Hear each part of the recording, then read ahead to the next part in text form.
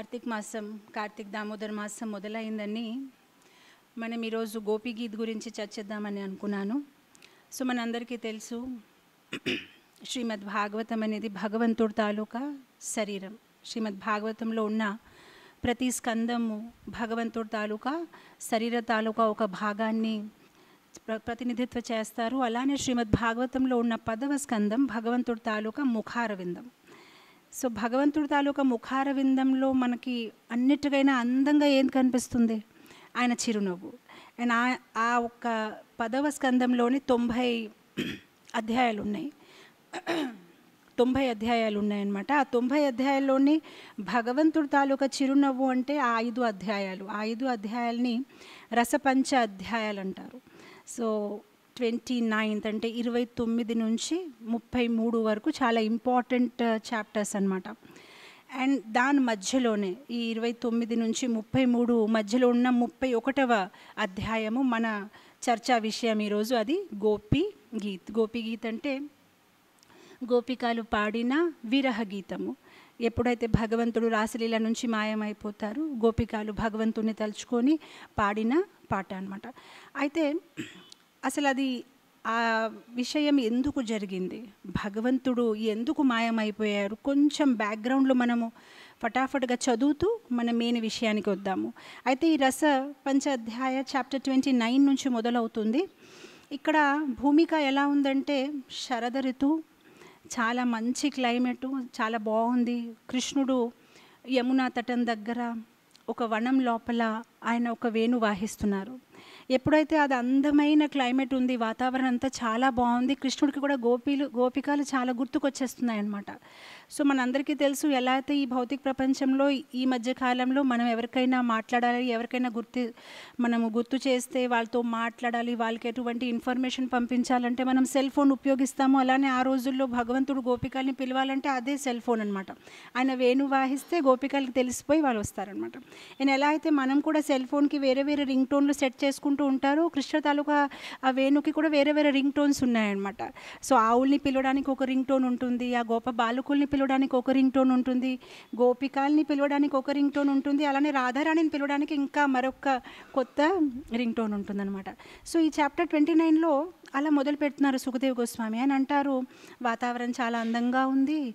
ఆ jasmine flowers పువ్వులు అన్ని చోట్ల చెట్లంతా పువ్వులతో నిండి ఉన్నాయి. అదే సమయంలో కృష్ణుడికి గోపికలు గుర్తొచ్చి ఆయన వేణు వాయించడం మొదలుపెట్టారు. ఎప్పుడైతే ఆయన వేణు వాయించడం మొదలుపెట్టారు ఈ గోపికాలు అందరూ భగవంతుడి తాలూకా వేణు శబ్దం వినేసి పరిగెత్తి వచ్చేస్తున్నారనమాట సో ఇక్కడ సుఖదేవ్ గోస్వామి వివరంగా చెప్తారు ఎలా ప్రతి ఒక్కరు ఏదో ఒక పనిలో బిజీగా ఉన్నారు. ఎవరో పాలు మరుగు పెడుతున్నారు ఎవరో పెరుగు తోడు పెడుతున్నారు ఎవరో ఏదో వంట చేసేసుకుంటున్నారు ఎవరో వాళ్ళ భర్తతో ఏదో మాట్లాడుతున్నారు ఎవరో శిశువుల్ని పాలు తాగిపిస్తున్నారు ఏదో ఇంట్లో అన్ని సర్దిగా సర్ది పెట్టుకుంటున్నారు అందరూ ఏదో బిజీగానే ఉన్నారు. కానీ ఎప్పుడైతే కృష్ణుడు ఇలా వేణు వాహించడం మొదలు పెడతారు గోపికలు అక్కడికి అక్కడ అన్ని పని మా పని మానేసి వాళ్ళందరూ పరిగెత్తుతారనమాట సో మొత్తము ఆ చాప్టర్ స్టార్టింగ్లో అదే డిస్క్రిప్షన్స్ ఉన్నాయన్నమాట. ఎలా వాళ్ళు ఏదేదో పనిలో ఉన్నప్పటికైనా అంటే అఫ్కోర్స్ దీనికి కూడా మనం నేర్చుకోవాల్సిన ఒక పెద్ద గుణపాఠం ఏంటంటే మనం అనుకుంటాము మేమే చాలా బిజీగా ఉన్నాము బహుశా గోపికలకి ఏం పని లేదేమో అందుకోసం అలా కృష్ణుడి దగ్గర వెళ్ళేవారు. మీకు అసలు ఎన్ని బాధ్యతలు ఎన్ని పనులు ఉన్నాయి. సో మేబీ బహుశా అందు గురించి సుఖదేవ్ గోస్వామి డీటెయిల్గా చెప్పారు వాళ్ళకి ఏమేమి పనులు ఉన్నాయి. మనకే కాదు వంటగదిలో వాళ్ళకి కూడా ఎలాంటి పనులు ఉన్నప్పటికైనా అన్నీ వదిలేసి వాళ్ళు కృష్ణుడి దగ్గర పరిగెత్తుతారనమాట తర్వాత అంటారు మొత్తం మీద వాళ్ళు అంటే ఎంత హడావిడిగా వచ్చారంటే అసలు వాళ్ళు ఎలాంటి బట్టలు వేసుకున్నారు ఏంటి అసలు వాళ్ళ జుట్టు ఎలా ఉంది వాళ్ళకి? ఎటువంటి ఊహలో లేరనమాట అందరూ పరిగెత్తి వచ్చేస్తున్నారనమాట అండ్ అఫ్ కోర్స్ మధ్యలో ఒక శ్లోక వస్తుంది. ఎక్కడైతే సుఖదేవ్ గోస్వామి అంటారు కొంతమంది గోపికాలు ఆ వేణు శబ్దం వినినప్పటికైనా వాళ్ళ ఇంట్లో నుంచి బయటికి వెళ్ళలేకపోయారు. ఎందుకంటే వాళ్ళ తాలూకా భర్త వాళ్ళని లాక్ చేసేసుకున్నారనమాట మీరు వెళ్ళడానికి వీలు లేదు. సో అలాంటి వాళ్ళు వాళ్ళ వాళ్ళ శరీరాన్ని దేహాన్ని త్యాగం చేశారు అని ఆ శ్లోకంలో చెప్పబడుతుంది. కోర్స్ దాని ఒక భాష్యంలో కమెంటరీలో దాన్ని ఎక్స్ప్లెయిన్ చేస్తారు. శరీరాన్ని వదలడం అంటే భౌతిక వాంఛాలు ఇచ్ఛాలు వదలడం కానీ భౌతిక శరీరం అనేది కాదు. ఎందుకంటే శరత ఋతువులో భగవంతుడు రాసలీల మొదలుపెట్టినప్పుడే ఏదో ఒక గోపిక శరీరాన్ని త్యాగం చేసిందంటే అది మంగళంగా ఉండదు కదా అది ఎలా ఉంటుంది? ఎవరైనా చనిపోయినప్పటికీ భగవంతుడు రాసలీల మొదలు పెడితే సో అందు గురించి ఇక్కడ మీరు గివింగ్ అప్ ద బాడీస్ అంటే శరీరాన్ని వదలడం అంటే చనిపోవడం అనేది అనుకోకూడదు. దీంట్లో ఒక ఆంతరిక భావం ఉంది. ఎందుకంటే ఇప్పుడు ఈ గోపికాల్లో కూడా అందరూ రకరకాల స్టేజ్లో ఉన్నారనమాట కొందరు నిత్యసిద్ధ గోపికాలు కొందరు చాలా నిత్య పరిశుద్ధులు అనమాట సో వాళ్ళు చాలా గ్రేట్ స్టేజ్లో ఉన్నారనమాట కొందరు మునిచారి గోపికలు అనమాట అంటే అఫ్కోర్స్ మన లెవెల్లో మనం వాళ్ళని తక్కువ ఎక్కువ అని పోల్చడానికి లేదనుకోండి కానీ ఇది ఎలా ఉందంటే భాష్యంలో ఒక ఎగ్జాంపుల్ ఇచ్చారు. ఎలా అయితే ఇప్పుడు ఒక పండు ఉందనుకోండి ఆమ్, ఎగ్జాంపుల్కి ఒక మామిడికాయ ఉందనుకోండి. సో ఆ మామిడికాయలు అన్నీ చెట్టు మీద ఉన్నప్పటికీ కొన్ని బాగా రైప్గా అయిపోయాయి పండుగ అయిపోయాయి. మనం హ్యాపీగా తినొచ్చు. కొన్ని కాయగా ఉంటాయి అన్నమాట కానీ కాయగా ఉన్నది పండుగ ఉన్న మామిడికాయన మామిడికాయకైనా తక్కువగా ఉంది అని మనం చెప్పము. దీనికి కొంచెం టైం పడుతుంది. సో అలాంటప్పుడు ఒక రాజతాలూకా వంట చేసిన వాడు ఏం చేస్తాడంటే ఆ మామిడికాయలు అన్నిని తింపుకొని కిచెన్లో ఉంచుతాడనమాట. ఏదైతే చక్క రైప్గా పండుగ అయిపోయింది అది రాజకి ఇస్తూ ఏదైతే ఇంకా రాగా ఉంది దానికోసం వేచి చూస్తాడనమాట. అది కూడా రెండు మూడు రోజుల్లో పక్కా అయిపోతే చక్క అయిపోతే ఇచ్చేస్తాడు కదా. అలానే ఈ గోపికాల్లో కూడా కొన్ని స్టేజెస్ ఉన్నాయన్నమాట కొంతమందికి ఎటువంటి భౌతిక వాంఛాలు ఇచ్చాలు ఏమీ లేదు. అంటే ఎందుకంత వివరంగా చెప్తున్నారంటే ఇక్కడ మనం మాట్లాడిన గోపికాలు ప్రతి ఒక్కరూ వేరే వేరే భౌతిక రిలేషన్షిప్స్లో కూడా ఉన్నారు. అంటే కొందరు పెళ్ళి అయిపోయిన గోపికాలు ఉన్నారు కొందరు యువతులు ఇంకా పెళ్ళి చేసుకోలేదు. సో అందరు డిఫరెంట్గా ఉన్నారు. సో ఇప్పుడు ఎవరికైనా ప్రశ్న రావచ్చు. మనం ఎప్పుడు అనుకుంటాము కృష్ణుడు గోపికలతో రాస్లీలా చేశారు. సో ఎవరైతే ఆల్రెడీ ఒక భర్త ఉన్నారు. ఆ భర్తతో గృహస్థ ఆశ్రమంని పాటిస్తున్నారు. అలాంటి వాళ్ళ శరీరాన్ని భగవంతుడు ఎలా యాక్సెప్ట్ చేస్తాడు? సో అందు గురించి ఇక్కడ క్లారిఫికేషన్ చేస్తున్నారు. ఏ గోపికాలైతే ఆ రోజు రాసలీలాకి వెళ్ళారు అసలు వాళ్ళు భౌతిక శరీరంతో వెళ్ళలేదు. దాని అర్థము వాళ్ళకి భౌతిక వాంఛాలనేది లేదు. వాళ్ళు కంప్లీట్గా వాళ్ళ శరీరం మీద ఎటువంటి మమకారమైన ఆసక్తి అనేది వాళ్ళకి లేదు. అసలు వాళ్ళకి కృష్ణుడిని సంతృప్తి పరచాలి తప్ప ఎటువంటి ఆలోచన లేదు. సో వాళ్ళు చాలా హయ్యర్ స్టేజ్లో ఉన్నారు అని చెప్తారు. అండ్ ఎవరైతే హయ్యర్ స్టేజ్లో ఇప్పటికి లేరు అలాంటి వాళ్ళని యోగమాయ ఆ రోజు రాస్లీలాకి పంపించలేదు. వాళ్ళకి కొన్ని రోజుల తర్వాత పంపించారు. ఎప్పుడైతే వాళ్ళు కూడా వాళ్ళ భౌతిక వాంఛాలు ఆ రోజు వదిలేసుకున్నారు. సో కుటుంబవాసులందరి మీద ఎటువంటి ఆసక్తి ఉండకుండా ఓన్లీ కృష్ణుడి మీద ఎవరికైతే ఆసక్తి ఎక్కువగా ఉంది అలాంటి వాళ్ళే రాస్లీలలో వెళ్ళగలరు అని భాష్యంలో ఎక్స్ప్లెయిన్ చేస్తారనమాట సో ఇక్కడ మనం చూస్తాము వాళ్ళు వాళ్ళ పనులు మానేసి వాళ్ళందరూ పరిగెత్తి కృష్ణుడి దగ్గరకు వచ్చేస్తారు. సో ఇక్కడ ఒక దృశ్యం ఎలా ఉందంటే ఆ గోపికాలందరూ వచ్చి ఉన్నారు. అండ్ కృష్ణుడు ఇంకా వేణు వాహిస్తున్నారు. ఎప్పుడైతే వీళ్ళందరూ ఇక్కడ వచ్చి ఉన్నారు కృష్ణుడు వెంటనే వాళ్ళ వైపు చూసి అంటారనమాట అంటే చాలా సర్ప్రైజ్గా ఫేస్ పెట్టి ఇదేంటి? మీరందరు ఇక్కడికి వచ్చారేంటి ఏమైంది ఏంటి విశేషము? అని అడుగుతారనమాట చాలా అమాయకులుగా అనమాట సో ఈ గోపికలందరూ ఆశ్చర్యపోతారనమాట ఇప్పుడే కదా పిలిచారు ఈ వేణు వాహిస్తూ మేము ఇప్పుడు వస్తే ఇదేంటి ఇలా మాట్లాడుతున్నారు?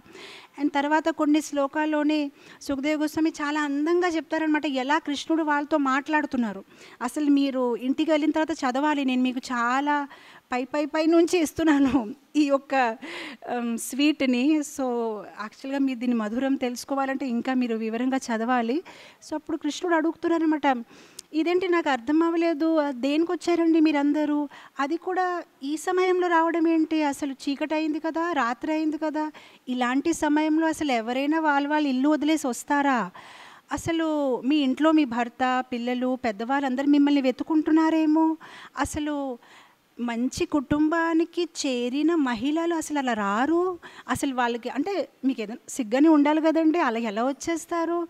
అసలు ఏమనుకుంటారు? సొసైటీలో ఉన్న వాళ్ళు మీ గురించి ఏం మాట్లాడతారు? సో అలా తప్పు కదా రావడము? ఇంతకీ అసలు ఇక్కడ రావడం ఎందుకు? ఏంటి విశేషం? ఏమైనా కావాలా అండి? ఎవరితో మాట్లాడడానికి వచ్చారు అని?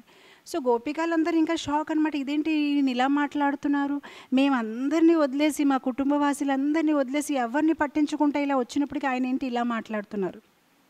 సో ఇలా కొన్ని శ్లోకాల వరకు కృష్ణుడు అలా అడుగునప్పటికీ వాళ్ళు ఏడ్చేస్తున్నారు అనమాట ఎందుకంటే వాళ్ళకి షాక్ వేసిందనమాట ఇటు వీళ్ళని వదిలేసి ఇన్ని పట్టుకుంటే ఈయన కూడా ఇలా మాట్లాడితే మేము ఎక్కడికి వెళ్ళాలి అని. సో వాళ్ళు ఏడుస్తూ అడు అడుగుతారనమాట మాకు నువ్వంటే చాలా ఇష్టము నీకోసం వచ్చాము. సో అప్పుడు దానికి కృష్ణుడు అంటారనమాట నా కోసమా? అవును నాకు అందరు ఇష్టపడుతూ ఉంటారు అనుకోండి అంటే మీరే కాదు అందరి జీవాలు నన్ను అలా ఇష్టపడతారు చాలా న్యాచురల్ మీ అందరికీ నా మీద ప్రేమ పుట్టడం అది చాలా న్యాచురల్గా ఉందండి. కాకపోతే కొన్ని ఆచారాలు ఉంటాయి కదండి అలా రాకూడదు కదా మీరు. సరే జరిగింది జరిగింది ఏం చేద్దాం మీరు ఇలా వచ్చేసారు ఏమనుకోవద్దండి కానీ ఇప్పుడు వెనక వెళ్ళిపోండి సో ఇలా మీరు చేయొద్దండి. ఎవరైనా ఏదైనా తప్పుగా అనుకుంటారు సో దయచేసి మీరు అందరూ వెనక వెళ్ళిపోండి. సో అప్పుడు గోపికాలు కృష్ణుడితో వాదించడం మొదలు పెడతారనమాట ఎందుకు మేము వెళ్ళిపోవాలంటే అప్పుడు కృష్ణుడు అంటారు ఏ మీరు శాస్త్రాలు చదవలేదండి? శాస్త్రాలు ఏం చెప్పారు? అసలు ఒక మహిళా తాలూకా బాధ్యత ఏంటంటే భర్తని చక్కగా సేవని అందించడం కుటుంబ వాసులందరినీ చక్కగా పోషించడం ఇల్లు శుభ్రంగా చూసుకోవడం అది మీ బాధ్యతలు కానీ ఇలా చీకటి రాత్రికి వచ్చి ఎవరితో వచ్చి మాట్లాడడం అది ఈ పద్ధతి కాదు. మీరు ఇంటికి వెళ్ళిపోండి అని. సో అప్పటికి గోపికలు ఒక శరీరం మాత్రము కంపించడం మొదలవుతుందన్నమాట. ఇదేంటి ఆయన ఇలా మాట్లాడుతున్నారనమాట సో ఆయన వాళ్ళు ఏడుస్తున్నారనమాట సో ఏడుస్తూ ఉంటే అసలు వాళ్ళు మొహం నుంచి అసలు మాటలు రావట్లేదన్నమాట. సో ఏడుస్తూ ఏడుస్తూ ఇలా ఈ అశ్రుధారాలు ఇలా వహిస్తూ ఉంటే అలా తుడుచుకుంటున్నారనమాట తుడుస్తూ తుడుస్తూ మాట్లాడుతున్నారనమాట ఇదేంటి మీరు ఇలా చెప్తున్నారని అసలు మిమ్మల్ని సేవ అందించడము మిమ్మల్ని పూజించడమే కదా ఈ మానవ జీవితం తాలూకా ఒక లక్ష్యం అనేది. సో అప్పటికి కూడా కృష్ణుడు వాదిస్తూ ఉంటే కొంతసేపు తర్వాత ఈ గోపికలందరికీ కోపం వచ్చేసి వాళ్ళు చాలా గట్టిగా వాళ్ళు ఒక అశ్రువుని అలా తుడిచేసి గట్టిగా మాట్లాడడం మొదలు పెడతారు అసలు మీరేం మాట్లాడుతున్నారు? మిమ్మల్ని సేవ అందించాలి. మిమ్మల్ని సేవ అందిస్తే మొత్తం కుటుంబంలో అందరినీ సేవ అందించినట్లే కదా అవుతుంది అని. సర్వధర్మాన్ పరిత్యజ అంటే అలాంటి ఫిలాసఫీలు వాళ్ళు మాట్లాడతారనమాట సో ఎప్పుడైతే వాళ్ళు గోపికలు ఇలా మాట్లాడడం మొదలు పెడతారు అప్పుడు వెంటనే కృష్ణుడు అనమాట ఫస్ట్ వింటారనమాట ఎంతవరకు. See the whole point is Krishna కావాల్సింది ఏంటంటే మీరు ఊరికే నన్ను బ్లైండ్గా అంటే ఎటువంటి జ్ఞానం లేకుండా ప్రేమించడం కాదు. జ్ఞానంతో ప్రేమించాలి. లేదంటే మనం ఊరికే ఇమోషనల్గా భగవంతుని ప్రేమిస్తే ఏమవుతుందంటే మనం కొన్నాళ్ళు ప్రేమించగలుగుతాము. కానీ కొంతసేపు తర్వాత ఏదైనా మన జీవితంలో ప్రతికూలమైన పరిస్థితులు వచ్చినప్పటికీ భగవంతుడు తాలూకా భక్తి వదిలేస్తాము. ఎందుకంటే జ్ఞానం లేదు. మనకి జ్ఞానం లేనప్పుడు ఊరికే ఇమోషనల్ అటాచ్మెంట్ సో మన జీవితంలో అంత బాగుంటే చక్కగా మనం భగవంతుని పూజించగలుగుతాం. ఏదైనా రాంగ్ జరిగితే భగవంతుడి మీద శ్రద్ధ అనేది కోల్పోతాం. కానీ జ్ఞానం ఉంటే అప్పుడు తెలుస్తాం అయ్యో దీనిలో భగవంతుడు తప్పు ఏది? కాదు. ఏది జరిగినా అది నా కర్మ ఫలితం అనమాట సో కృష్ణుడు టెస్ట్ చేస్తున్నారు. వాళ్ళకి ఎంతవరకు జ్ఞానం ఉంది? అసలు ఏం మాట్లాడుతున్నారు? సో గోపికలు అసలు ఏ శాస్త్ర చదవలేదు. మనం ఉద్ధవ్ గోపి సంవాద్లో కూడా చూస్తాము. ఉద్ధవ్ వచ్చి చాలా గర్వంతో వస్తాడు. గోపికల్ని నేను నచ్చ చెప్తానని వాళ్ళకి అసలు అర్థం అవ్వట్లేదు అని. ఎందుకంటే ఆయన బృహస్పతి తాలూకా శిష్యుడు. తనకి జ్ఞానం చాలా ఎక్కువ ఉంది. కానీ ఎప్పుడైతే గోపికలతో మాట్లాడతాడో తను ఆశ్చర్యపోతారు. అయ్యో వీళ్ళ జ్ఞానం నాకైనా చాలా ఎక్కువగా ఉంది ప్రాక్టికల్గా ఉంది. సో అఫ్ కోర్స్ ఎవరైతే కృష్ణుడిని నమ్మిస్తారు కృష్ణ భగవద్గీతలో కూడా అంటారు నేనే వాళ్ళ హృదయంలో జ్ఞాన దీపాన్ని వెలిగిస్తాను. సో వాళ్ళు ఒకవేళ గొప్ప శాస్త్రాలు చదవకపోయినా కూడా వాళ్ళకి నా గురించి చాలా జ్ఞానం అనేది ఉంటుంది. అండ్ అఫ్ కోర్స్ మనం ఎప్పుడైతే ఎవరికైనా ప్రేమిస్తారో వాళ్ళ గురించి మనం ఏదైనా చెప్పేయగలుగుతాం కూడా.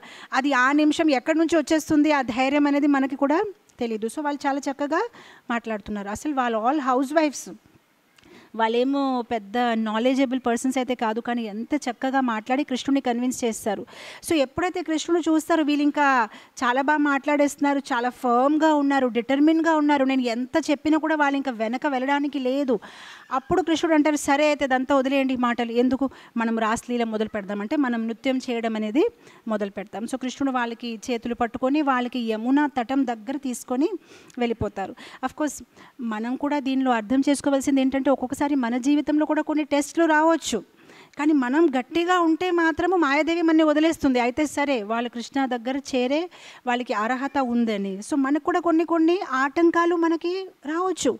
భక్తి జీవితంలో ఎప్పుడైతే మనం ముందుకు వెళ్తామో ఆ ఆటంకాలు ఒక్కొక్కసారి యోగమాయ కూడా ఏర్పడుతుంది. అంటే ఏర్పాటు చేస్తుంది. అంటే మనం అనుకుంటాము సి మాయాలో కూడా యోగమాయ ఉంది మహామాయ ఉంది. ఇప్పుడు మాయా అనేది ఎవరి మీద పని చేస్తుంది? ఎవరైతే అభక్తులు కృష్ణ భక్తులు కాదు మాయా వాళ్ళకి ఏం చేస్తుంది? కంప్లీట్గా వాళ్ళకి మాయాలో ములిగించి కృష్ణుడి గురించి మర్చిపో పెడుతుందనమాట సో అత- వాళ్ళకి కృష్ణుడి గురించి అసలు ఏది గుర్తు రాదు. కానీ ఇంకొకటి ఉంది యోగమాయ ఎవరైతే కృష్ణ భక్తులు కృష్ణుకి దగ్గర అవుతారు యోగమాయ వాళ్ళ మీద చూపిస్తుంది పని. సో ఇప్పుడు ఎవరైనా అడగొచ్చు అసలు యోగమాయ అంటే భక్తులకి భగవంతుడు దగ్గర తీసుకువెళ్ళాలి కదా మళ్ళీ వా ఆవిడెందుకు వ్యతిరేకంగా పని చేస్తుంది? కానీ ఆవిడ పని ఏంటంటే ఎవరికైతే అర్హత లేదు అలాంటి వాళ్ళకి కృష్ణుడు దొరకకూడదు. సో ఆవిడ టెన్ టైమ్స్ చెక్ చేస్తుంది. ఎలా అయితే మనకి ఎయిర్పోర్ట్లో చెక్ చేస్తారు కంప్లీట్గా బాడీ స్కాన్ అసలు ఏంటి మీరు ఏం తీసుకువెళ్తున్నారు అలా యోగమాయ కూడా మనకి టెస్ట్ చేస్తుంది. మీరు ఇప్పుడు కృష్ణుడికి దగ్గర వెళ్తున్నారు సో మీలో అహంకారము మీలో అసూయ అలాంటి ఏమైనా ఉందా? ఇంకా మీకు గర్వం అనేది ఉందా అని అంత చెక్ చేసి మనకి లోపల పంపిస్తుంది. సో ఆ చెక్ చేయడానికి అలాంటి సిచ్యువేషన్స్ కూడా క్రియేట్ చేస్తుంది. ఇప్పుడు మనం చక్కగా ఈ భాగవతం క్లాస్లో కూర్చున్నప్పటికీ మనలో ఏ అనర్థాలు మనకి కనిపించకపోవచ్చు. నేను బాగానే ఉన్నానండి నాలో ఏది కామ క్రోధ మోహ మత్సర్య ఏది లేదు.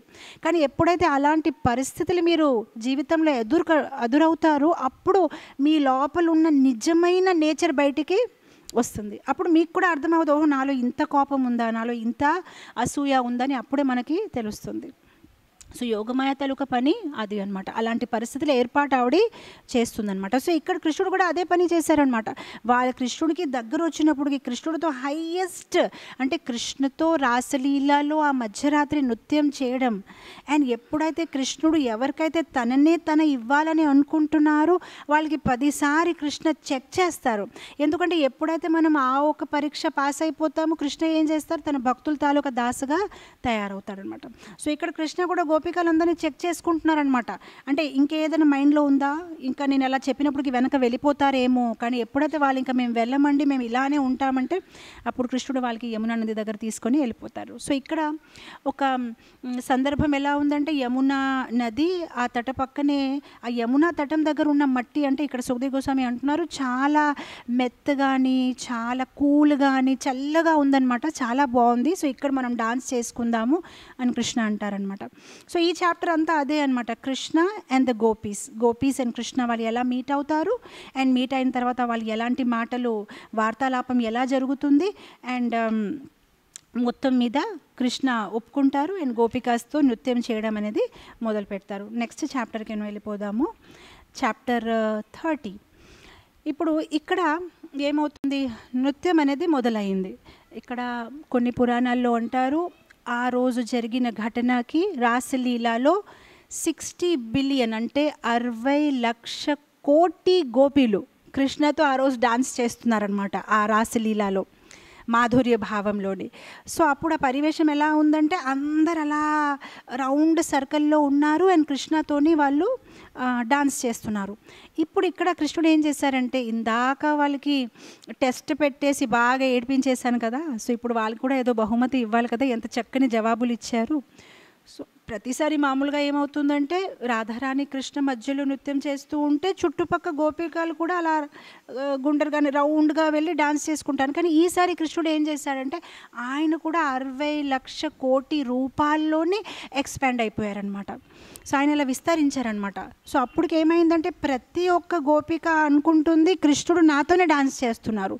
సో అది చాలా అందమైన ప్ర పరివేశం అనమాట ప్రతి ఒక్క గోపిక అనుకుంటుంది నాతో డాన్స్ చేస్తున్నారు ఎంత బాగుంది. అసలు ఈ ఈ రాత్రి అలానే ఆగిపోవాలి అసలు ఎప్పటికి ఇది ఎండ్ అవ్వద్దని చాలా ఆనందంగా ఉన్నారు. ఇప్పుడు సుఖదేవ్ గోస్వామి అంటారు చిన్న వాళ్ళ మైండ్లో వచ్చిన ఆలోచన ఏంటంటే అంతమంది గోపికల్లోనే కృష్ణుడు నన్నే ఎందుకు ఎంచుకున్నాడు? నాలో ఏముంది స్పెషల్? అసలు ఇది ఇది నేను చదివినప్పటికీ నాకు నవ్వు వస్తుంది. అసలు భౌతిక ప్రపంచంలో మనందరూ కూడా అలానే ఉన్నారు. ఎంతో కొంత సక్సెస్ వచ్చినప్పటికైనా మన భౌతిక జీవితంలో అబ్బా నేను ఎంత గ్రేట్గా ఉన్నాను. అంటే మనకు ఒక ఆలోచన అనమాట అసలు సేవ కూడా ఏదైనా కృష్ణ భక్తిలో సేవ చేసినప్పటికైనా నన్నే చెప్పారా సేవ నన్నే పిలిచారు. సంథింగ్ నేనే ఏదో స్పెషల్గా ఉన్నానని. మనకి ఎలాంటి భావాలు even for outside life also ఆధ్యాత్మిక పరంగానే కాదు బయట కూడా మన బిజినెస్లోన మన ఫ్యామిలీ లైఫ్లోన మన సొసైటీలో కూడా మనకి ఎంతో కొంత సక్సెస్ వచ్చినప్పటికీ ఫస్ట్ థింగ్ అహంకారం మొదలవుతుందనమాట నేను ఎంత సక్సెస్ఫుల్గా ఉన్నాను నన్ను అందరూ ఎంత మెచ్చుకుంటున్నారు నేను నా కుటుంబాన్ని ఎంత చక్కగా సెట్ చేశాను ఈ అమ్మాయికి అమెరికా ఆ అబ్బాయికి లండన్ అందరు ఎడ్యుకేషన్లు ఐఎమ్ సో గ్రేట్ అని మన ఒక ఫీలింగ్ అనమాట సో ఇక్కడ యాక్చువల్గా గోపికలకి అలాంటి ఫీలింగ్ అనేది ఉండదనుకోండి ఇది ఓన్లీ మనకి నేర్పించడానికి మొత్తం లీల. సో ఇక్కడ గోపికలు కూడా ఆలోచించడం మొదలుపెట్టారనమాట సంథింగ్ స్పెషల్ ఉంటుంది కదా నాలోనే. ఎందుకంటే మామూలుగా అయితే అసలు వేరే గోపిల మాటలు వదిలేయండి. రాధారాణిని వదిలేసి నాతో డాన్స్ చేయడం ఏంటి అసలు? అయితే నిజంగా సంథింగ్ నాలో అయితే స్పెషల్ అయితే ఉంది అని అందరు ఇలా ఆలోచించడము మొదలుపెట్టారనమాట ఎప్పుడైతే అలా ఆలోచించడం మొదలుపెట్టారు నెక్స్ట్ ఏమవుతుంది? కృష్ణ అక్కడి నుంచి పారిపోయారు మాయమైపోయారు.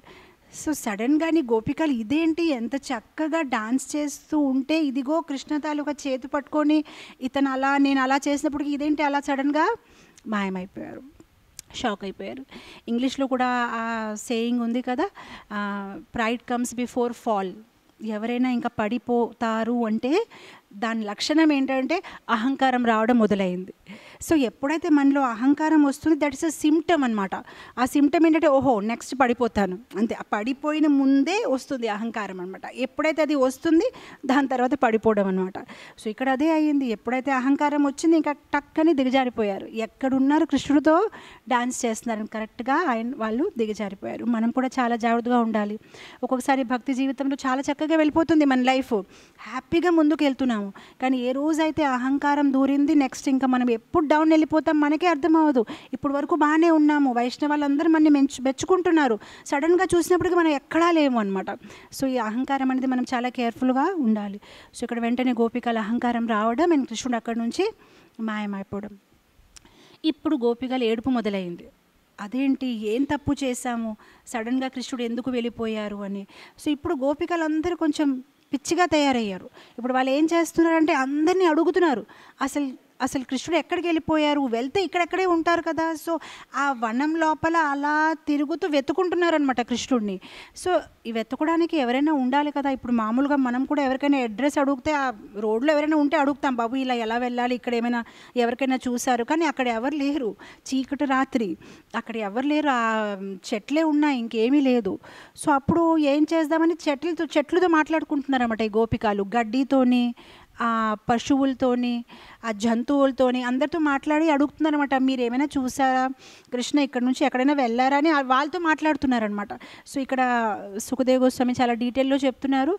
గోపికాలు పువ్వులతో కూడా మాట్లాడుతున్నారనమాట సో ఓ మాలతి నువ్వు ఏమైనా కృష్ణుడిని చూసావో? చంప నువ్వు ఏమైనా కృష్ణుడిని చూసావని అందరితో మాట్లాడేసి అడుగుతుందనమాట వాళ్ళు ఏమైనా చూసారేమో అని.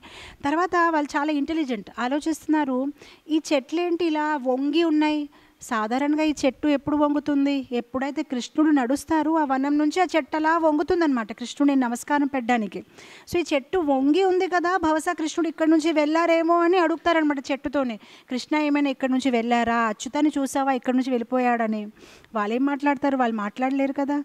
సో అప్పుడు అందరు అలానే ఉంటే ఆ పశువుల్ని జంతువుల్ని ఆ పక్షుల్ని అందరికీ అడుగుతూ అడుగుతూ వెళ్తున్నారనమాట చివరికి ఆ జింక అని నువ్వు మా స్నేహితురాలు కదా అని ఆ జింకతో మాట్లాడమన్నమాట నువ్వైనా చెప్పొచ్చు కదా కృష్ణ ఎక్కడి నుంచి ఎక్కడైనా వెళ్ళారా నువ్వు ఎక్కడైనా చూసావా కృష్ణుడిని అని. ఎప్పుడైతే వాళ్ళు ఇలా కృష్ణుడి కోసం అడుగుతూ అడుగుతూ వెళ్తున్నారు వాళ్ళకి కృష్ణుడు చాలా గుర్తొచ్చేస్తున్నారు. వాళ్ళు ఏం చేస్తారంటే కృష్ణుడుగా నటించడం కూడా మొదలు పెడతారు.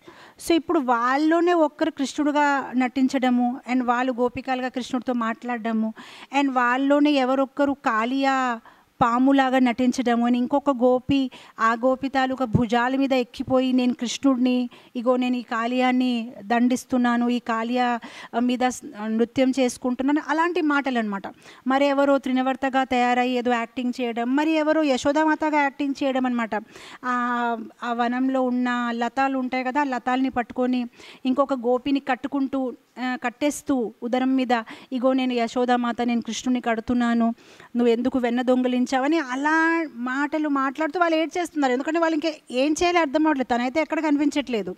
సో తన గురించి మాట్లాడినైనా ఆనందిస్తాము అని వాళ్ళ ఆ భావంలో ఉన్నారనమాట సో అలా వెతుకుంటున్నారు వెతుకుంటున్నారు. మొత్తం మీద ఒక గోపి చాలా ఇంటెలిజెంట్. ఆవిడ అన్నింది ఆపండి. కృష్ణుడు ఇక్కడ నుంచి వెళ్ళి ఉన్నాడు. సో వాళ్ళంటారు మీకు ఎలా తెలుసు? సో అప్పుడు అంటారు. చూడు ఇక్కడ ఈ ఒక మట్టి మీద కృష్ణ తాలూకా పాద చిహ్నాలు ఉన్నాయి. మనం గత ఆదివారమే డిస్కస్ చేసాము ఎలా కృష్ణ తాలూకా పాదాలకి కొన్ని చిహ్నాలు ఉంటాయి. ఎవరికైనా గుర్తుందా? సరే. కృష్ణ తాలూకా పాదాల మీద ఏముంటాయి చిహ్నాలు? చక్రము కమల పువ్వు మత్స్య వాటర్ పాట్స్ స్వాస్తిక్ మార్కు బార్లీ అలాంటి ఎన్నెన్నో ఆ జాంబు ఫలాలు. ఇంకేమైనా గుర్తొస్తున్నాయి? బాణము ఊర్ధ్వరేఖ సో అలాంటివి ఉంటాయన్నమాట. సో ఇక్కడ వాళ్ళు కూడా కృష్ణ తాలూకా పాద చిహ్నాలు కనిపిస్తున్నాయి కదా ఇగో కృష్ణుడు ఇటే వెళ్ళాడు అని వాళ్ళందరూ ఆ చిహ్నాల్ని ఫాలో అయిపోయి వెళ్ళిపోతారనమాట సో ఫాలో అయిపోతూ అయిపోతూ ముందుకెళ్ళినప్పటికీ వాళ్ళు ఒకటి గమనించారు ఇగో మనం చూసినప్పటి నుంచి రెండు కాదు నాలుగు పాదాలు కనిపిస్తున్నాయి. అయితే కృష్ణతో పాటు ఇంకెవరో కూడా ఉన్నారు. అండ్ అప్పుడు దాని మీద వాళ్ళు డీటెయిల్గా రీసెర్చ్ కూడా చేసుకుంటారనమాట ఎందుకంటే కొన్ని ప్లేసెస్లో కృష్ణ తాలూకా పాద చిహ్నాలు చాలా లోతుగా ఉన్నాయి కొంచెం డీప్గా ఉన్నాయి. దాని అర్థం ఎవరికైతే ఆయన ఆయనతో పాటు తీసుకువచ్చారు బహుశా ఆ గోపికాని కృష్ణుడు భుజ మీద ఎత్తి ఉన్నాడేమో. లేదంటే ఇంత లోతగా ఎందుకు ఉంది ఇక్కడ చిహ్నాలు అని. సో అలా వాళ్ళు ప్రతిదీ రీసెర్చ్ చేసి వెళ్తారనమాట మళ్ళీ కొన్ని ప్లేసెస్లో వాళ్ళు ఏం చూస్తారంటే కృష్ణ తాలూకా పాదాలు మొత్తం కనిపించట్లేదు. ఆయన బొట్టన వేళ్ళే కనిపిస్తుంది అనమాట సో అప్పుడు వాళ్ళు చుట్టూ చూస్తే అక్కడ ఒక చెట్టు ఉంది. చెట్టు మీద పువ్వులు ఉన్నాయి సో అప్పుడు వాళ్ళు అనుకుంటారనమాట ఇది ఎత్తుగా ఉంది కదా భవస బొటన వేళ్ళ మీద యూనో ఆయన ఆధారపడి అలా పైకెత్తి ఈ పువ్వులు తింపి ఉంటారేమో అని. సో ఇలా మెల్లమెల్లగా దాని మీద ఆయన రీసెర్చ్ చేస్తూ వాళ్ళు ఇక్కడ ఇక్కడ కొన్ని పాదాలు కనిపించట్లేదు అయితే ఇక్కడ కూర్చున్నారేమో కొంతసేపు మళ్ళీ ఇక్కడ నుంచి ఇలా వెళ్ళారేమో అని. సో అలా చెప్తూ చెప్తూ ఒక చాలా ఇంపార్టెంట్ శ్లోకం ఇక్కడ సుఖదేవ్ గోస్వామి కోట్ చేస్తారు. చాలా బ్యూటిఫుల్ శ్లోకం. నా వెనక అందరూ పాడాలి. అన్య ఆరాధితో నూనం భగవాన్ హరిర్ ఈశ్వరా యన్నో విహాయ గోవిందా ప్రీతోయం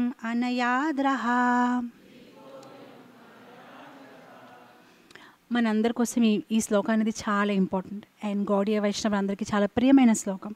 ఎందుకంటే ఇక్కడ ఇండైరెక్ట్గా రాధారాణి గురించి మాట్లాడడం జరుగుతుంది.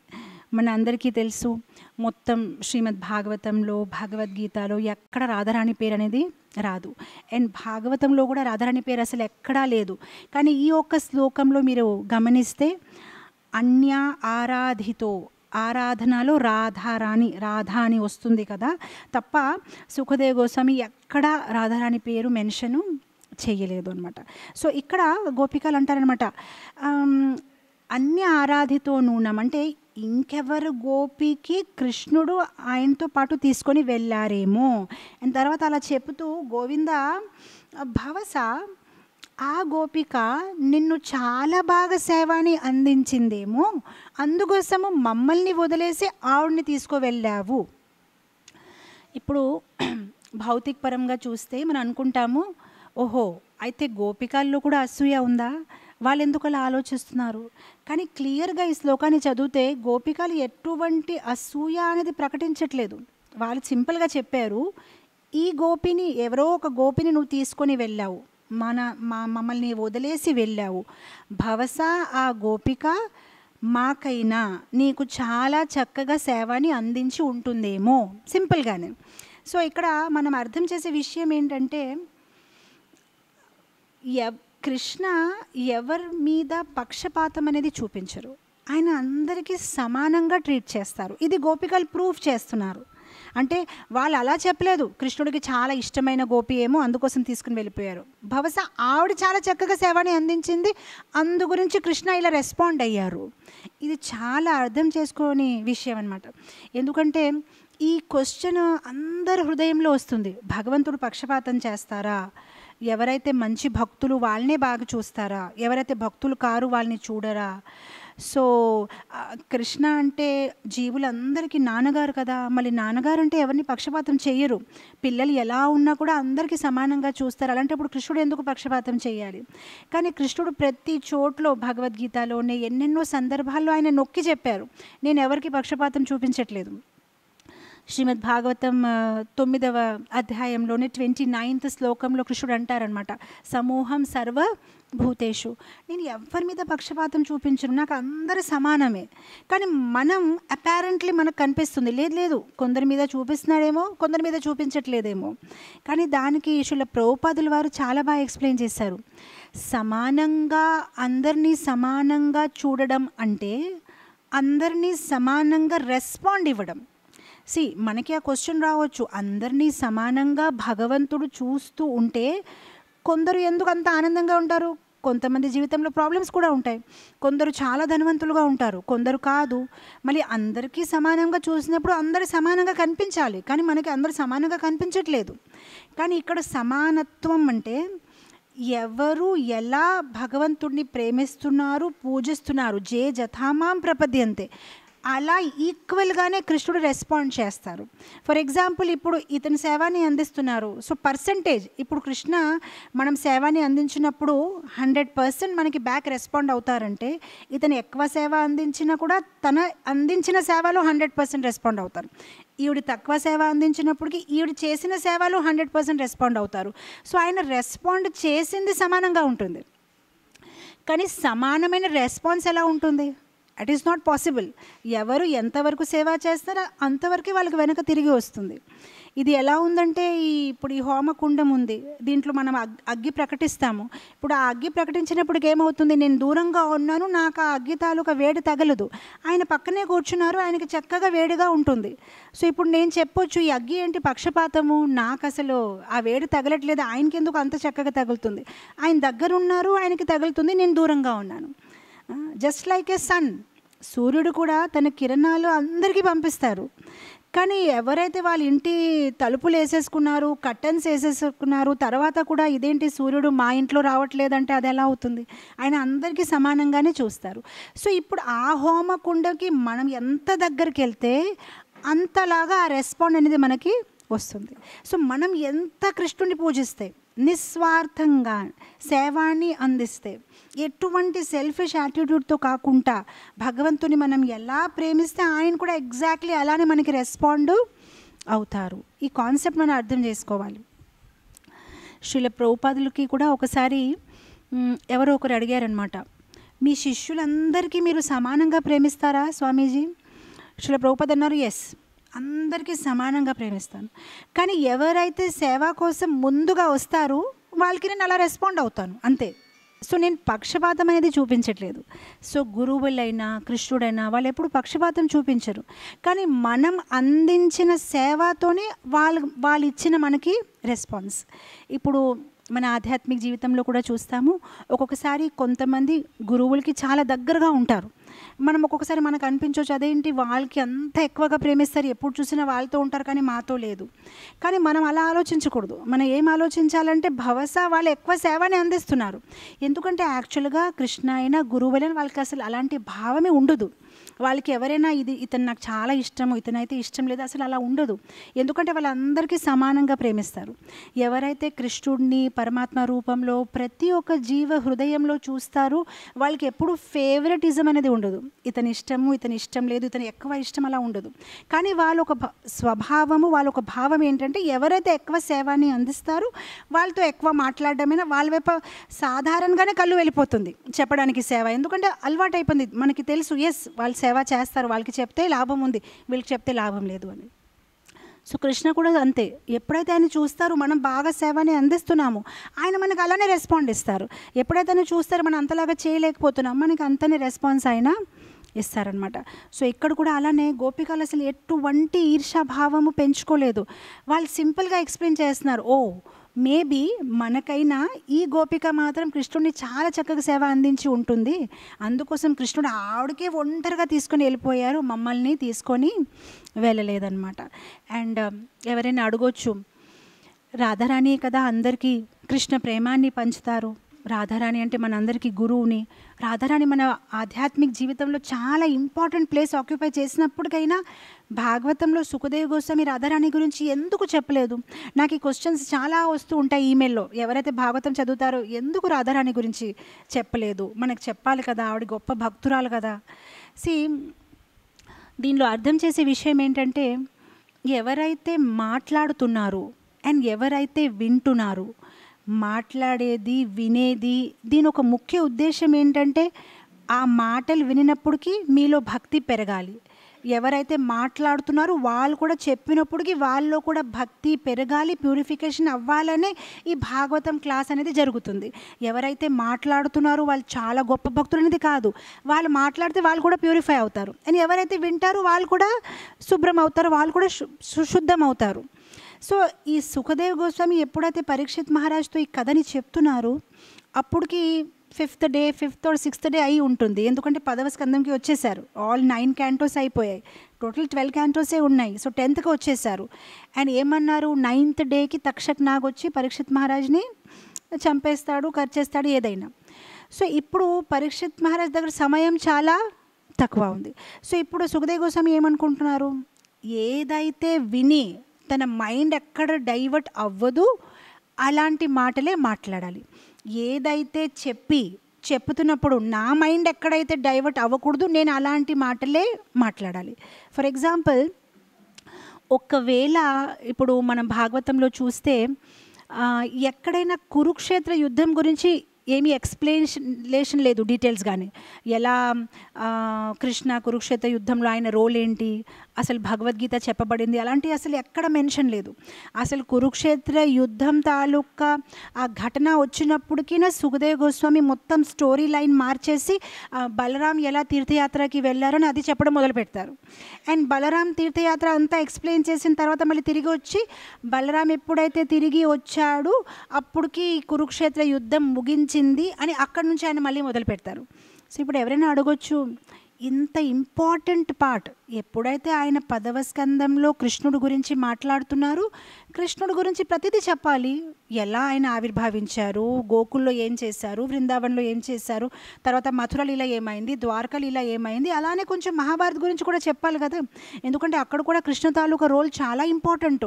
ఆయన అసలు ఆ యుద్ధంలో ఎన్ని మిరాకల్స్ చూపించడం అయినా ఎన్ని మంచి మాటలు చెప్పడం అని కానీ అది కంప్లీట్గా ఇగ్నోర్ చేసేసారు. ఇది ఎలా ఉందంటే పాకిస్తాన్ ఇండియాకి వార్ అయి అవుతుందనుకోండి మన న్యూస్ పేపర్స్ అన్నిట్లోనే ఆ వార్ గురించి ఏది మెన్షన్ చేయకుండా శ్రీరంగంలో మామిడికాయలు చాలా తీయగా ఉంటాయి అని ఆ న్యూస్ పేపర్లు వేసినప్పుడు ఇదేంటి?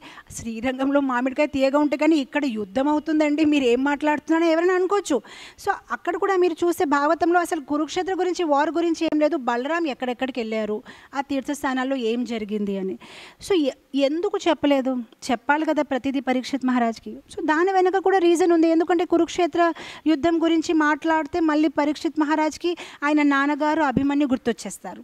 అండ్ మన అందరికీ తెలుసు ఆ మహాభారత యుద్ధంలో అభిమన్యుకి చాలా తప్పుగాని వాళ్ళు చంపారు. అంటే ఎథిక్స్తో న్యాయం చేయలేదు. వాళ్ళు చాలా అందరూ కలిసి అతన్ని చంపారు. సో ఒకవేళ కురుక్షేత్ర యుద్ధం గురించి మాట్లాడితే వెంటనే పరీక్షిత్ మహారాజ్కి ఏమవుతుంది? అభిమన్యు ఆయన నాన్నగారు గుర్తొచ్చేస్తారు. ఎందుకంటే పరీక్షిత్ మహారాజ్ ఆయన నాన్నగారిని చూడలేకపోయారు. అంటే అమ్మ గర్భంలో ఉన్నప్పటికీ ఆయన నాన్నగారు చంపబడారనమాట సో ఇప్పుడు ఇలా మాట్లాడారనుకోండి ఆయన ఏమవుతారు? మొత్తం మైండ్ డైవర్ట్ అయిపోయి బాధపడుతూ అసలు ఉన్నది ఇంకా నాలుగు రోజులు. ఆ తక్షక్ నాగు వచ్చేస్తాడు. సో ఇప్పుడు చేయవలసింది ఏంటి? ఆ స్పీకర్ తాలూకా పని.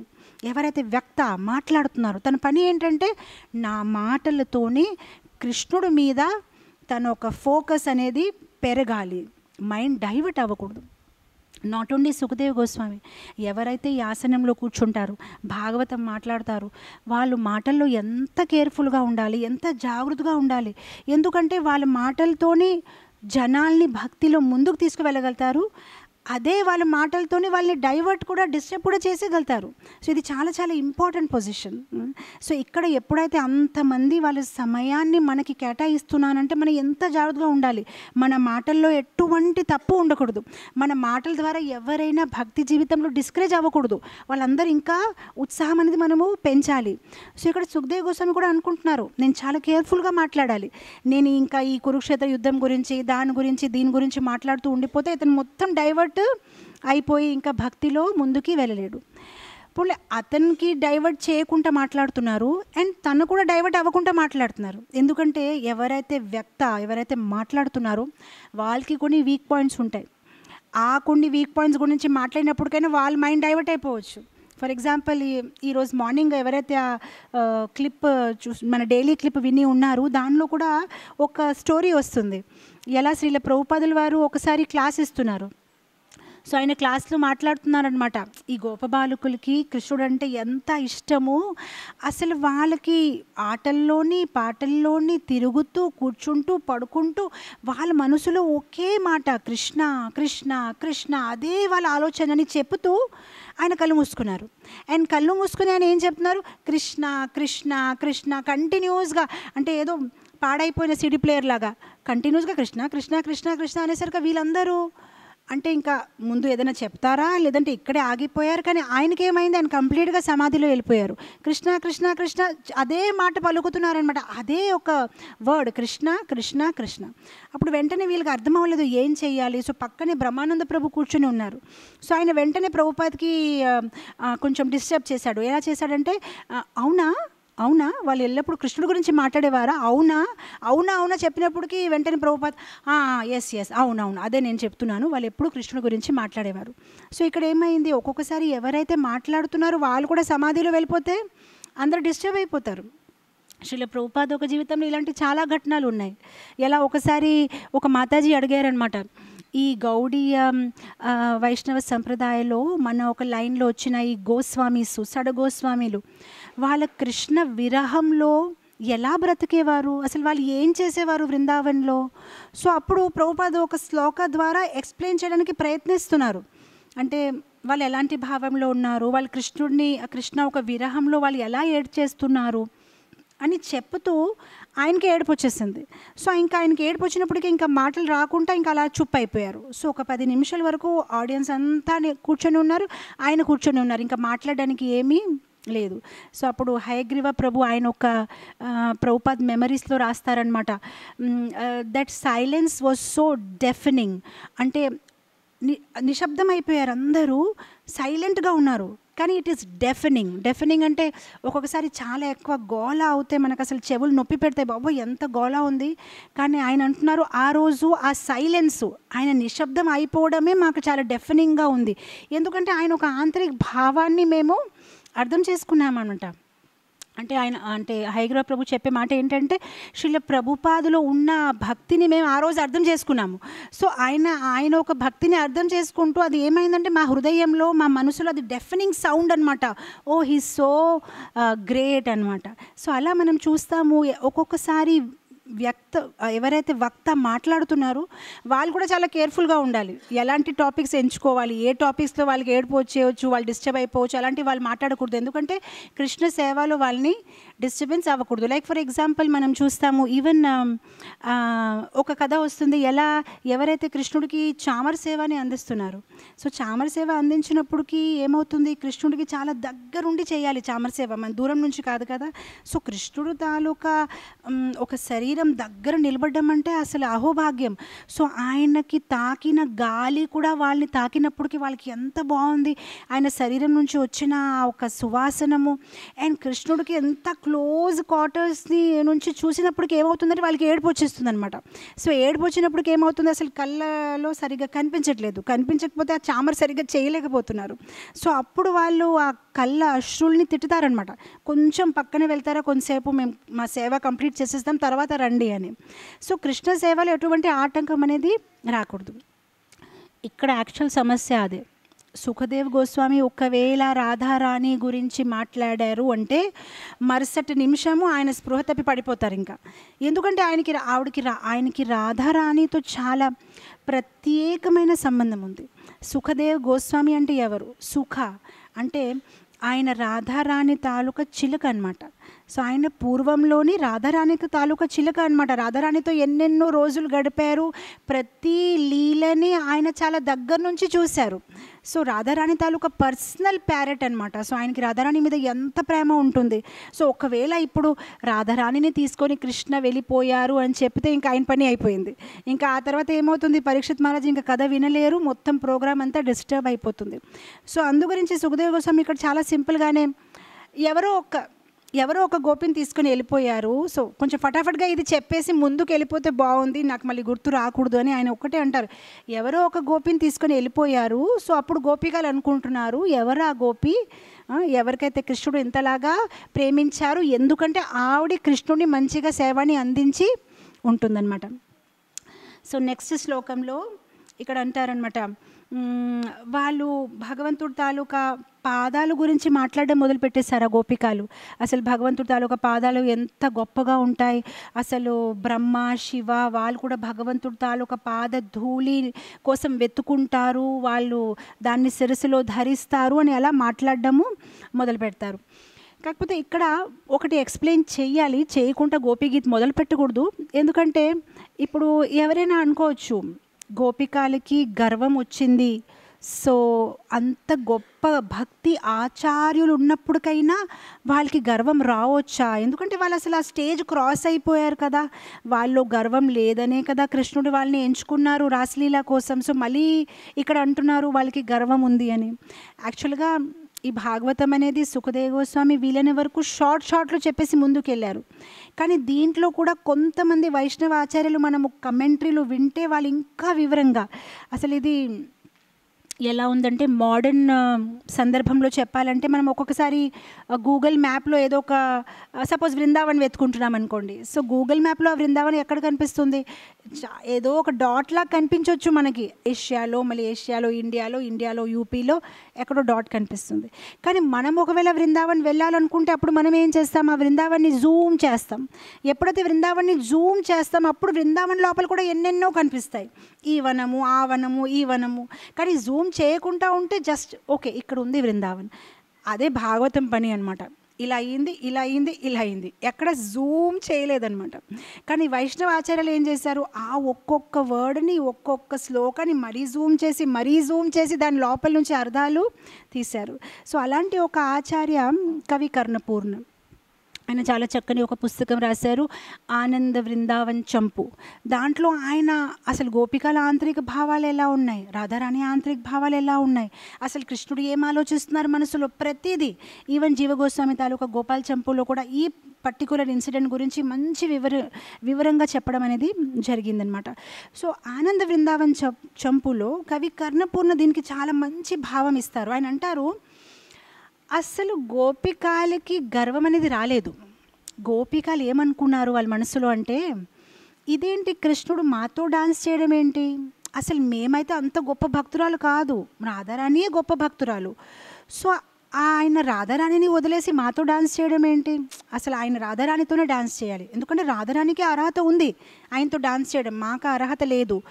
సో మేము ఏం చేయాలి? మేము ఏం చేస్తే కృష్ణుడు మమ్మల్ని వదిలేసి రాధారాణి దగ్గరికి వెళ్తే బాగుంది కదా? అసలు ఆవిడకి సూటేబుల్ మాకి కాదు అని. సో అందు గురించి అలాంటి భావాలు తెచ్చారు కావాలని. సో అప్పుడు కృష్ణ వాళ్ళు ఏమనుకున్నారంటే కృష్ణుడు మాయమైపోతారని వారు అనుకోలేదు.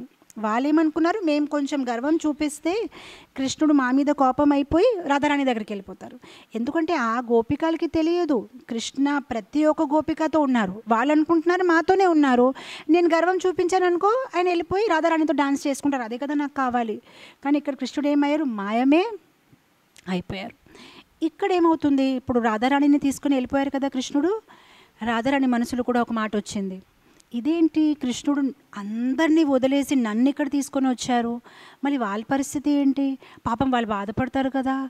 వాళ్ళ వాళ్ళేం తప్పు చేశారు? కృష్ణుడు వాళ్ళని కూడా దొరకాలి కదా. నాకే దొరకాలని కాదు కదా. అందరికీ కృష్ణుడు ఉండాలి కదా. నేను ఏం చెప్పాలి? ఎలా చేయాలి? నేను ఏం చేస్తే ఇంకా కొంచెం మెల్లమెల్లగా వెళ్దాము అని. సో ఇప్పుడు రాధారాణి ఇంకా యాక్టింగ్ చేయడం మొదలుపెట్టారు. ఎప్పుడైతే కృష్ణుడు రాధారాణిని తీసుకుని వెళ్తున్నారో రాధారాణి అంటున్నారు ఇగో కృష్ణ ఇక్కడ ఈ పువ్వు చాలా బాగుంది. ఇది ఇస్తావా? సో అప్పుడు వెంటనే కృష్ణుడు ఆ పువ్వు తీసుకుని రావడం అయ్యో ఈ చెట్టు చూడు ఎంత బాగుంది అని. అలా మెల్లమెల్లగా మెల్లమెల్లగా నడుస్తున్నారు. సో రాధారాణి ఏమనుకుంటున్నారు? నేను ఇలా మెల్లమెల్లగా కృష్ణతో నడుస్తే ఆ లోపల గోపికలు గమనిస్తారు. అయ్యో కృష్ణుడు ఎక్కడికి వెళ్ళిపోయారని. మమ్మల్ని వెతుకుంటూ వస్తారు. వచ్చినప్పటికి మేము అందరం మళ్ళీ జాయిన్ అయిపోతాం. కానీ ఒకవేళ మేము గబగబ గబగబ ముందుకు వెళ్ళిపోతే అసలు వా వాళ్ళు మమ్మల్ని వెతుకోలేము. అప్పుడు ఊరికి వాళ్ళు బాధపడతారు కదా అని. సో కావాలని మెల్లగా మెల్లగా మెల్లగా రాధారాణి నడుస్తున్నారనమాట. దాని గురించి కూడా ఇక్కడ వివరంగా ఉంది. ఎలా ఆవిడ కృష్ణుడిని ఇది చూపిస్తూ అది చూపిస్తూ ఏదో మాటల్లో పెడుతూ మెల్లగా మెల్లగా వెళ్తుంది. సి తప్పకుండా అది నిజమే. ఎందుకంటే రాధారాణిని మనం ఎందుకు పూజిస్తాము? రాధారాణి అందరికీ కృష్ణుడిని పంచుతారనే కదా మనం రాధారాణిని పూజిస్తాం. ఒకవేళ రాధారాణిలో అలాంటి భావాలు ఉన్నాయనుకోండి నాకే కృష్ణుడు వీళ్ళందరికీ కాదు అంటే అలాంటప్పుడు మనం ఎందుకు రాధారాణిని పూజిస్తాము? అయ్యో ఆవిడ పక్కనే ఉంటే మనకి కృష్ణుడు దగ్గరే రానివ్వదు కదా అని మనం అనుకోవచ్చు. కానీ ప్రతి ప్లేస్లో ఎక్కడైతే కృష్ణ అక్కడ రాధారాణిని పెడుతున్నామంటే అది మన స్వార్థం కోసం. ఎందుకంటే మనకి తెలుసు ఆవిడ ఒక స్వభావం ఎలాంటిది? ఆవిడ ఒక్కరు కృష్ణుని పట్టుకోరు. వచ్చిన వాళ్ళందరికీ కృష్ణ ప్రేమాన్ని పంచుతారు. సో అందు గురించి ప్రతి గౌడీయ వైష్ణవాలు అసలు రాధారాణిని వదలరు. కావాలంటే కృష్ణుడిని వదిలేస్తారు కానీ రాధారాణిని పట్టుకుంటారు. అందుకోసం మనం వృందావనంలో చూస్తాము ప్రతి చెట్టులోని ప్రతి చెట్టు మీద ప్రతి మనిషి అక్కడ ఒకటే మాట రాధే రాధే రాధే రాధే ఒకే మాట అంటారు. అసలు కొత్త వాళ్ళని అక్కడ తీసుకువెళ్ళినప్పుడు ఆశ్చర్యపోతారు. ఇది రాధారాణి పుట్టిన ప్లేసా కృష్ణుడు ఆవిర్భావించిన ప్లేస్? అక్కడ కృష్ణుడు గురించి ఎవరు మాట్లాడరు. అందరు రాధారాణి గురించే మాట్లాడతారు. సో అందరికీ తెలుసు రాధారాణి ద్వారానే కృష్ణుడిని మనము పొందొచ్చు. అనమాట. సో రాధారాణి ఇంకా మెల్లమెల్లగా వెళ్తున్నారు. సో ఇప్పుడు కృష్ణుడు కూడా ఇష్టం అవ్వట్లేదు. ఇదేంటి ఇప్పుడు ఇంత స్లోగానే? సో మొత్తం మీద ఇంకా అన్నీ అయిపోయాయి. ఈ చెట్టు ఆ చెట్టు ఈ పువ్వు ఆ పువ్వు ఇంకా అన్నీ అయిపోయాయి. ఇప్పుడు ఇంకా ముందుకు వెళ్ళిపోతున్నారు. అప్పుడు వెంటనే రాధారాణి ఏం చేశారంటే ఒక చెట్టు కింద వెళ్ళి కూర్చున్నారు. కూర్చొని ఇంకా నేను అలసిపోయాను నేను ఇంకా నడవలేకపోతున్నాను అని మొదలుపెట్టారు. ఇక్కడ అన్నీ ఉన్నాయండి. మీరు నేను ఏది కథ సృష్టించట్లేదు. అన్నీ యాజ్ ఇట్ ఈస్గా ఇక్కడ ఉన్నాయి. మీరు చదవచ్చు. నాకు కాలు నొప్పిగా ఉంది నేను ఇంకా నడవలేను ముందు అని. సో అప్పుడు కృష్ణ వెంటనే అంటారు అంటే కోపంతోనే అయితే నీకేం కావాలి? నిన్ను ఎత్తుకోవాలా? అని కృష్ణుడు అడుగుతున్నారనమాట సో ఇక్కడ ఏం పాలకీలు అలాంటి ఏం ఉండదు కదా వనం లోపల ఉన్నారు. సో నువ్వు నడవలేవంటే ఇంకా నువ్వు ఏం ఎక్స్పెక్ట్ చేస్తున్నావు? నేను నీకు భుజాల మీద తీసుకువెళ్ళాలా అని. సో అప్పుడు కృష్ణుడు అంటాడు సరే అయితే రా నేను నీకు తీసుకుంటాను. అండ్ అలా చెప్పి కృష్ణుడు ఎప్పుడైతే వంగుతారు మాయమైపోతారు. సో రాధారాణికి కూడా అర్థం అవ్వదు ఆవిడ అనుకుంటున్నారు ఇంకా కృష్ణు మీద ఎక్కుతాను లేదంటే అయ్యో నేను అలా ఆలోచించలేదు ఎప్పుడైతే నేను అంటాను నా కాలు నొప్పిగా ఉందంటే కృష్ణుడు కూడా నా పక్కనే కూర్చుంటారేమో మేము ఇద్దరు కూర్చుంటూ ఉంటే ఆ లోపల వీరు వచ్చేస్తారు. గోపికలు అదే ఆవిడ ప్లాన్ అనమాట కానీ కృష్ణుడు అంట రా నేను ఎత్తుకుంటాను. సో అప్పటికి రాధారాణి ఇంకా ఆలోచనలో ఉంది. నెక్స్ట్ ఇంకా నేను ఏం చేయాలి? ప్లాన్ ఎలా మార్చాలి? ఆ లోపల కృష్ణుడు మాయపడతారు కోర్స్ um, దానికి కొంతమంది భాష్యం ఇస్తారు. రాధారాణికి గర్వం వచ్చేసింది. కృష్ణ నా దగ్గరే ఉన్నాడు. అంతమంది గోపికల్ని వదిలేసి నన్నే ఎంచుకున్నాడు అని ఆ గర్వం రాధారాణిలో వచ్చింది కదా అందుకోసం కృష్ణుడు వదిలేశారని భాగవతంలో కూడా చెప్పిబడింది. కానీ దాని ఆంతరిక భావం అది. అసలు రాధారాణికి గర్వం రావడం ఏంటి అసలు? సో ఆ భావం ఏంటంటే రాధారాణి అంత ప్లానింగ్ వేసుకున్నారు కానీ ఆ లోపల కృష్ణుడు కోపం వచ్చేసింది. అంటే ఈవిడ ఎందుకు ఇంత నటిస్తుంది అనమాట తీసుకువెళ్దాము అంటే ఈ నొప్పి అది అని అంటున్నారని కృష్ణుడు అక్కడి నుంచి మాయమైపోతారు ఎప్పుడైతే కృష్ణుడు అక్కడి నుంచి మాయమైపోతారో ఇంకా రాధారాణి షాక్ అనమాట అసలు నేను ఇలా అనుకోలేదు ఆయన వెళ్ళిపోతారని ఇదేంటి ఇలా వచ్చింది? వాళ్ళని సాయం చేద్దామంటే నా దగ్గర నుంచి కూడా కృష్ణ వెళ్ళిపోయారు. సో అప్పటికి రాధారాణి ఇంకా బాగా గట్టి గట్టిగా ఏరడం మొదలు పెట్టారు. అప్పటికి అక్కడ గోపికలు వచ్చేస్తారు. వాళ్ళు ఇంకా వెతుకుంటూ వెతుకుంటూ అప్పుడు రాధారాణిని చూసేసి కృష్ణ ఎక్కడ ఉన్నారు సో అప్పుడు రాధారాణి ఒప్పుకుంటారనమాట నా తప్పు వ్యవహారం నా మాటలు చాలా గర్వంతో నేను కృష్ణని నన్ను ఎత్తుకోమన్నాను. కాలు నొప్పి అని నా అలాంటి ఒక భావంని చూసి కృష్ణుడు నన్ను వదిలేసి వెళ్ళిపోయారు. సో అప్పుడు వాళ్ళందరూ ఇంకా కూర్చొని ఎరవడం మొదలుపెట్టారు. ఇప్పటికీ వాళ్ళకి ఏంటి ఆశ అంటే పోన్లే మేము లేకపోయినా కనీసం రాధారాణితో ఉన్నారు. ఇప్పుడు రాధారాణిని కూడా వదిలేస్తారంటే ఆయన ఎక్కడికి వెళ్ళిపోయారు? సో అప్పుడు వాళ్ళు ఏం చేస్తారు? రాధారాణి చేతి పట్టుకుని ఇంకా ఇంకా లోపల లోపల లోపలికి వెళ్ళి వెతుకుంటున్నారు. అసలు కృష్ణుడు ఎక్కడ ఉన్నారని. మొత్తం మీద అసలు ఈ- వనాలు కూడా ఇక్కడ రాసి ఉంది. ఎలా ఉన్నాయంటే చాలా డెన్స్గా ఉన్నాయి. అంటే ఒక చెట్టు పక్కన ఇంకో చెట్టు పక్కన ఇంకో చెట్టు అంతా చాలా ఘనఘనంగా ఉన్నాయన్నమాట. సో అలా రావడం వల్ల ఏమవుతుందంటే ఆ చంద్రమ తాలూకా కాంతి కూడా అసలు లోపలికి రావట్లేదు. చాలా చీకటిగా ఉంది. సో మొత్తం మీద ఈ గోపికాలకి భయం వేసింది. కృష్ణ కృష్ణ చెప్తూ చెప్తూ వెళ్ళాం కానీ కృష్ణ అయితే ఎక్కడా లేదు. ఒకవేళ ఇంకా లోపలికి వెళ్తే వెనక వచ్చే దారి కూడా మర్చిపోతామని ఇంకెందుకొని వాళ్ళందరూ తిరిగిపోతారు. తిరిగి వాళ్ళు ఎక్కడికి వెళ్ళిపోతారు యమునా తటం దగ్గరికి వెళ్ళిపోతారు. సో ఎప్పుడైతే ఆ యమునా తటం దగ్గరికి వెళ్తారో అక్కడ కొన్ని చెట్లు తక్కువ ఉంటాయి కదా అది ఒక వాటర్ బాడీ అనమాట చెరువు కదా అక్కడ. అలాంటప్పుడు అక్కడ చంద్రమ తాలూకా కాంతి బాగా వచ్చి అంతా వెలుతురుగా కనిపిస్తుంది అనమాట వాళ్ళు అక్కడ వచ్చి ఇంకా కూర్చున్నారు. ఇప్పుడు వాళ్ళు అన్నారు ఇంకేదైనా ఆ వనాల లోపల మనం కృష్ణ కృష్ణ అరిచినప్పటికైనా కృష్ణ వినకపోవచ్చు. ఎందుకంటే ఆ చెట్లు ఉన్నప్పటికైనా ఆ వాయిస్ కూడా వెళ్ళదు. ఇక్కడ అరి- అరిచామనుకోండి మనం ఇక్కడ కూర్చొని ఏడుస్తే కృష్ణుడికి బాగా క్లియర్గా వినిపిస్తుందని వాళ్ళందరూ అక్కడికి ఆ జమ అయిపోయారు. సో ఇమాజిన్ అరవై లక్ష కోటి గోపికాలు యమునా తటం దగ్గర ఉన్నారు. అండ్ వాళ్ళందరూ ఏడుస్తున్నారనమాట చాప్టర్ థర్టీ వన్కి వెళ్ళిపోదాము.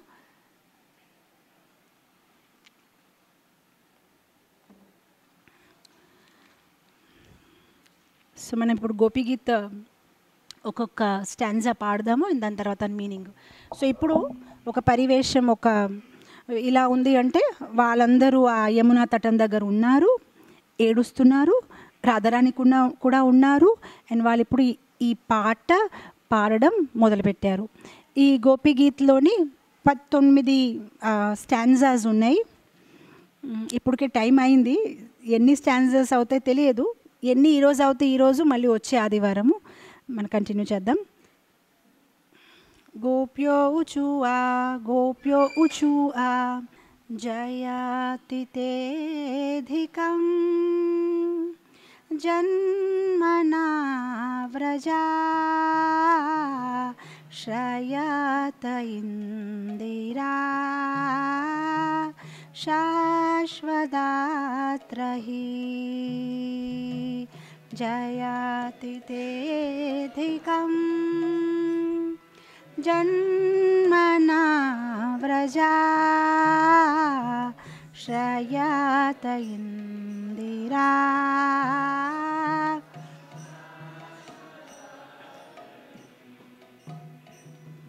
जयातितेऽधिकं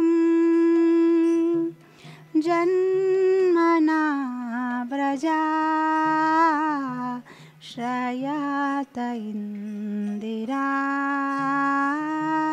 शाश्वतात्रयी। जयातितेऽधिकम् जन्मना व्रजा शयात इन्दिरा दात्रही दयतदृश्यता दीक्षुतावका त्वयि धृता सवा। त्वां विचिन्वते। दयतदृश्यता दीक्षुतावका त्वयि धृता सवा। त्वां సంవతే సి ఇందాక చెప్పాను అరవై లక్ష కోటి గోపికలు. దీని ఒక ప్రూఫ్ చూడండి. ఒక గోపి పాడిన పాట కాదు. ఇక్కడ మొట్టమొదటి అంటారు గోప్యో ఉచువా. గోప్యో ఉవాచా కాదు.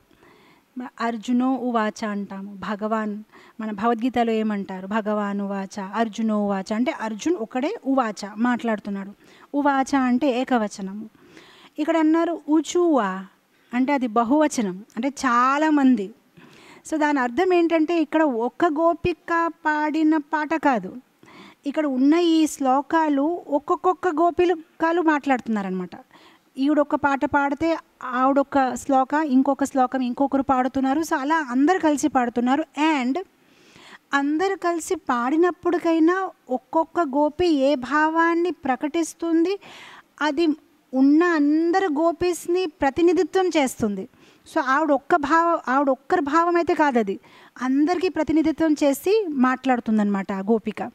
సో ఇక్కడ అంటారు గో గోప్యో ఉచూహ. ఆ గోపికాలందరూ. యాక్చువల్గా జీవగోస్వామి తాలూకా గోపాల్ చంపులో అయితే ఏ గోపి ఏ శ్లోకాన్ని పాడింది అది కూడా వివరంగా ఉంది. ఎందుకంటే ఏ పాట అయితే పాడింది దాంతోని జీవగోస్వామి క్యాల్కులేట్ చేసుకుంటారు లక్షణాలు. ఇలా మాట్లాడిందంటే బహుశా ఆ గోపియే మాట్లాడి ఉంటుంది. ఎందుకంటే ఆవిడ ఇలా జరిగింది ఒకసారి ఆవిడతో ఇలా జరిగిందని చాలా వివరంగా ఉంటుంది. మనం అంత వివరంగా వెళ్ళకుండా ఒక గోపి పాడింది. సో మొదటి లైన్ అంటారు జయతి తేధికం జన్మనావ్రజ. జయతి తేధికం జన్మనావ్రజ అంటే ఇక్కడ గోపిక కృష్ణుడితో అంటుందన్నమాట అసలు ఈ వ్రజభూమి ముందే చాలా గొప్పగా ఉంది కానీ ఎప్పుడైతే ఇక్కడ నువ్వు ఆవిర్భావించావు ఓ కృష్ణ ఇది ఇంకా గొప్పగా తయారయ్యింది. ఇప్పుడు నీ ఈ గోపి గీత ఎక్స్ప్లెయిన్ చేసినప్పుడు కొన్ని సందర్భాల్లో నేను కృష్ణుడు కోసం నువ్వు అని వాడతాను. నాకు తప్పుగా అర్థం చేసుకోకూడదు. యాక్చువల్గా మనం కృష్ణుని ఎప్పుడు నువ్వని చెప్పము. కానీ ఇక్కడ నేను గోపిక బిహాఫ్లో అసలు వాళ్ళు ఎలా మాట్లాడుతున్నారు? నేను అలా ఒక ఫీలింగ్ తేయడానికి. కానీ స్వామికి మనం అసలు ఎప్పుడు అలా చెప్పకూడదు. సో నన్ను ఎక్స్క్యూజ్ చేయాలి ఇది ఎక్స్ప్లెయిన్ చేసినప్పుడు. సో ఇక్కడ గోపికలు అంటున్నామంటే నువ్వు పుట్ట నువ్వు ఆవిర్భావించావు కదా ఇక్కడ. అందుకోసం ఇంకా గొప్పగా తయారయ్యింది అని అంటున్నారనమాట జయతి తే అధికం ఎక్కువగా. సో ఎందుకు ఈ వృందావన్ ముందే గ్రేట్గా ఉంది? అసలు ఆ వృందావన్ ముందే గ్రేట్ లేకపోతే కృష్ణుడు ఎందుకు ఎంచుకుంటారు? ఆయన ఎంచుకున్నారు అక్కడ ఆవిర్భావిస్తారంటే అసలు అసలు ఆ భూమి ముందే గ్రేట్గా ఉంది. కానీ ఎప్పుడైతే అక్కడ నువ్వు ఆవిర్భావించావో అది ఇంకా అధికంగా గ్రేట్గా తయారయ్యింది అని గోపికలు అంటున్నారు. జయతి తేధికం జన్మనా వ్రజ ఇక్కడ నువ్వు జన్మ జన్మించావు ఈ వ్రజభూమిలో అందుకోసం అది ఇంకా గొప్పగా తయారయ్యింది. ఇక్కడ కొంతమంది వైష్ణవాచార్యులు అంటారు ఇక్కడ వాడిన శబ్దం ఏంటంటే జయతి. జయతి అంటే జయము. జయతి అంటే గ్లోరియస్. ఈ వ్రజభూమి చాలా గొప్పగా తయారైంది గొప్పగా పేరు పొందింది. ఎందుకంటే నువ్వు ఇక్కడ ఆవిర్భావించావు.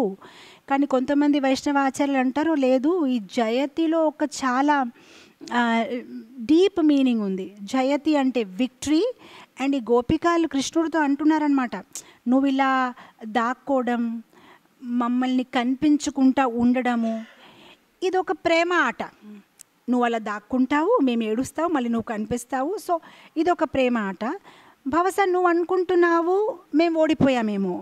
ఎందుకంటే నువ్వు కనిపించట్లేదు మేము ఇంకా ఇలా ఏడుస్తూ కూర్చున్నాము. ఇంకా అంతా కష్టపడినా కూడా నువ్వు ఎక్కడ కనిపించలేదు కదా అందుకోసం మేము ఓడిపోయి ఇంకెందుకని ఇంటికి ఇంటికి వెళ్ళిపోతామేమో నువ్వు అనుకున్నావు. కానీ జయతి తేదిక మేము ఇంకా ఓడిపోము. ఏం పర్వాలేదు. నువ్వు వస్తావు నువ్వు వచ్చే వరకు మేము ఇక్కడే ఉంటాము.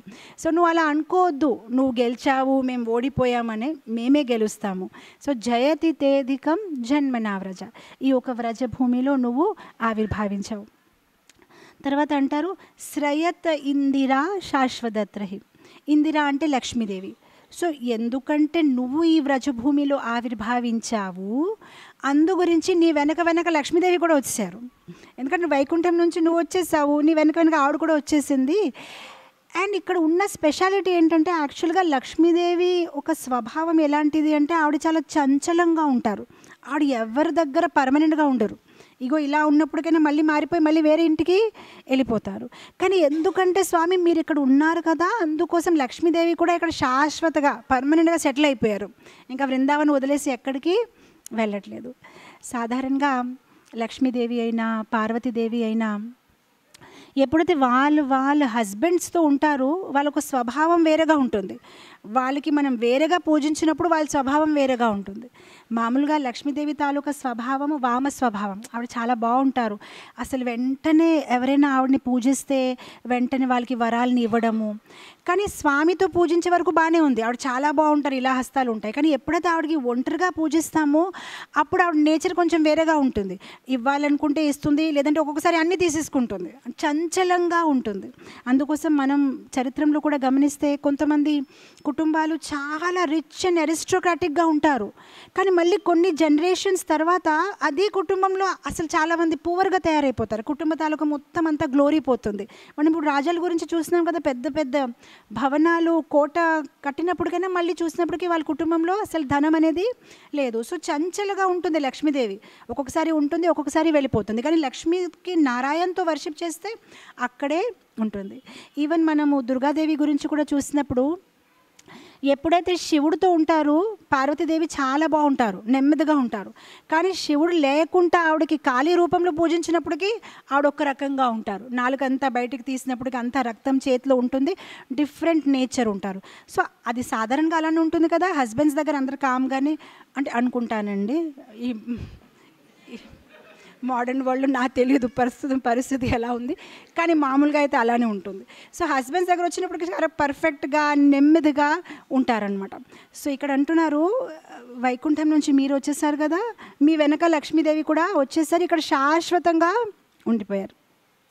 మనందరికీ తెలుసు నేను అనుకోవడం లాస్ట్ ఇయర్ మనం వృందావన్ వెళ్ళినప్పుడు వెళ్ళామా? బీల్వవన్కి వెళ్ళామా? ఎక్కడైతే లక్ష్మీదేవి ఉంటారు. బృందావన్లో ఉన్న పన్నెండు వనాల్లోని ఒక వనం ఏంటంటే బీల్వవనం. ఆ బీల్వవనం ఒక ప్రత్యేకత ఏంటంటే ఎప్పుడైతే వైకుంఠంలో నారద్ముని వెళ్ళి లక్ష్మీదేవితో చెప్పారనమాట అసలు బృందావన్లో కృష్ణుడు ఇలా ఉంటారు అలా ఉంటారు ఆ గోపికలు అలా ఉంటారు వాళ్ళు ఇలా రాస్లీలా చేసుకుంటూ ఉంటారంటే లక్ష్మీదేవి అనుకుంటారనమాట అలాంటప్పుడు నేను కూడా వెళ్తాను కిందకి నేను కూడా ఆ రాస్లీలలో పార్టిసిపేట్ చేస్తాను. సో ఎప్పుడైతే ఆవిడ కిందకి వస్తారు రాస్లీలా చూస్తారు అంతవరకు బాగుంది. కానీ లోపల ప్రవేశిస్తారంటే ఆవిడకి ప్రవేశం లేదు. అక్కడ ఉన్న గోపికాలు వృందాదేవి ఎవరైతే సెక్యూరిటీ గార్డ్స్ ఉన్నారో మీకు అవదమ్మా ఇంకా టైం పడుతుందని. సో అప్పుడు లక్ష్మీదేవి అనుకుంటా పిల్లలు నాలో ప్రాబ్లం ఏంటి? సో ఇప్పుడు వాళ్ళు అంటారు ఆ మీరేదో ఆ ఐశ్వర్యంతో కూడి వచ్చారా? ఎన్నెన్నో నగలాలు ఆభరణాలు. ఇక్కడ అలాంటి మేడమ్స్కి అలౌడ్ లేదు. ఇక్కడ ఓన్లీ సర్వెంట్స్ ఎవరైతే కృష్ణ తాలూకా పని మనుషులుగా ఉంటారు కదండి వాళ్ళే లోపలికి వెళ్ళాలి. సో మళ్ళీ దీనికి లోపలికి వెళ్ళాలంటే ఏం చెయ్యాలి? మళ్ళీ ఆ గోపికలు ఏం చేస్తారు? ఆ ఆవు పేడ పట్టుకొని ఆ చిలకడం మజ్జిగ చిలకడము అలాంటి పనులు చేయాలి ఇక్కడ. మేడ్ సర్వెంట్ లాగా పనులు చేయాలన్నమాట సో లక్ష్మీదేవి ఇంకా అలాంటి పనులు చేయడం ఆవిడకి అలవాటు కూడా లేదనమాట సో అప్పుడు లక్ష్మీదేవి అక్కడ కూర్చొని తపస్య చేసుకుంటారు. అంటే ఆయన కృష్ణుడిని పూజిస్తారనమాట నాకు ఎలాగో ఒక్కసారి రాస్లీల లోపల రావడానికి అవకాశం ఇవ్వండి అని. సో చరిత్రంలో ఏమంటారంటే అప్పుడు ద్వాపర యుగంలో లక్ష్మీదేవి అలా కూర్చున్నారు బీల్వవనంలో. బీల్వవనం పేరు ఎందుకు వచ్చిందంటే అక్కడ ఆ రోజుల్లో బిల్వ చెట్లు ఎక్కువగా ఉండేది. సో ఆ బీల్వ ఆకులే మొత్తం అంతా వనమంతా అదే ఉంటుందన్నమాట. సో లక్ష్మీదేవి ఏం చేస్తారంటే అక్కడికి వెళ్ళి ఒక చెట్టు కింద కూర్చొని తపస్సు చేయడం మొదలుపెట్టారు ద్వాపర యుగంలో ఇప్పుడు మనం ఉన్నాము కలియుగంలో. సో ఇప్పటికీ కూడా ఆవిడకి ప్రవేశం దొరకలేదని ఇప్పటికీ ఆవిడ అక్కడే ఉన్నారనమాట అక్కడే తపస్సు చేసుకుంటున్నారు. సో మనం ఇప్పుడు కూడా బృందావన్ వెళ్తే బీల్వవనకి అక్కడ లక్ష్మీదేవి తాలూకా ఒక టెంపుల్ ఉంది. అక్కడ డివోటీస్ వెళ్తారు పూజ చేస్తారు కానీ లక్ష్మీదేవి అక్కడ తపస్సు చేస్తున్నారు. ఇంకా ఆవిడకి ప్రవేశం అనేది దొరకలేదు. సో ఇక్కడ గోపికలు అంటున్నారు శాష్ శ్రయత ఇందిర. ఇందిర అంటే లక్ష్మీదేవి ఇంకా పర్మనెంట్గా ఇక్కడ ఉండిపోయింది. లోపలికి రాస్లీల లోపల దూరకుంటా నీకు సేవని అందించాలని అనుకుంటుంది కానీ ఆవిడకి ప్రవేశం దొరకట్లేదు. కానీ పర్మనెంట్గా లక్ష్మీదేవి ఇక్కడ ఉంది ఎందుకంటే నువ్వు ఇక్కడ ఉన్నావు. ఇక్కడ ఒక వర్డ్ యూస్ చేస్తారు శ్రయత. సో శ్రయత తాలూకా రూట్ ఏంటంటే శ్రూయత. శ్రూయత అంటే సేవ అందించడం. సో లక్ష్మీదేవి నీకు సేవని అందించాలని అనుకుంటూ ఇక్కడ పర్మనెంట్గా ఉండిపోయారు. శాశ్వతత్ర హి. తర్వాత ఇక్కడ ఒక మంచి పాయింట్ అంటారు. దయత దృశ్యత. దయత అంటే స్వామి అంటే ఇక్కడ ఓ బిలావ్డ్ అని ట్రాన్స్లేషన్ ఇచ్చారు. దయత అంటే ఓ ప్రియమైన స్వామి. దృశ్యతాం అంటే ఇక్కడ ఏం చెప్పారు? నువ్వు కనిపించట్లేదు. దృశ్యత అంటే కనిపించట్లేదు. దిక్షు తావకాస్. మేము ప్రతి దిక్కులో ప్రతి దిశ అంటారు హిందీలో తెలుగులో దిక్కు అంటారు. ప్రతి దిక్కు ప్రతి దిశలో వెతుకున్నాము. కానీ నువ్వు అసలు ఎక్కడా కనిపించట్లేదు. మేము ఏం చేయాలి? నీ దర్శనం మాకు కావాలి. దయత దృశ్యతాం దీక్షు తావకాస్. తావకాస్ అంటే తావకాస్. నీ భక్తులు నీకు వెతుకుంటున్నాం మేము కానీ నువ్వు ఎక్కడ మాకు దొరకట్లేదు. త్వయి ధృత సవాస్. త్వయి అంటే ఇక్కడ అంటారు ఫర్ యువర్ సేక్ నీ కోసం. ధృత సవాస్ త్వం విచిన్వతే యాక్చువల్గా ధృత అంటే మేము ఉన్నాము మా ఒక ప్రాణాల్ని ఇలా పట్టుకొనే ఉన్నాము. ఎందుకంటే నువ్వు వస్తావేమో వెనక లేదంటే ప్రాణాలు ఉంచాలని మాకు ఇంకా లేదు. ఎందుకంటే నువ్వు కనిపించట్లేదు. నువ్వు కనిపిస్తావేమో అని ఆ ఆశతోని మా ప్రాణాల్ని మేము ఇలా చేతిలో ఉంచాము.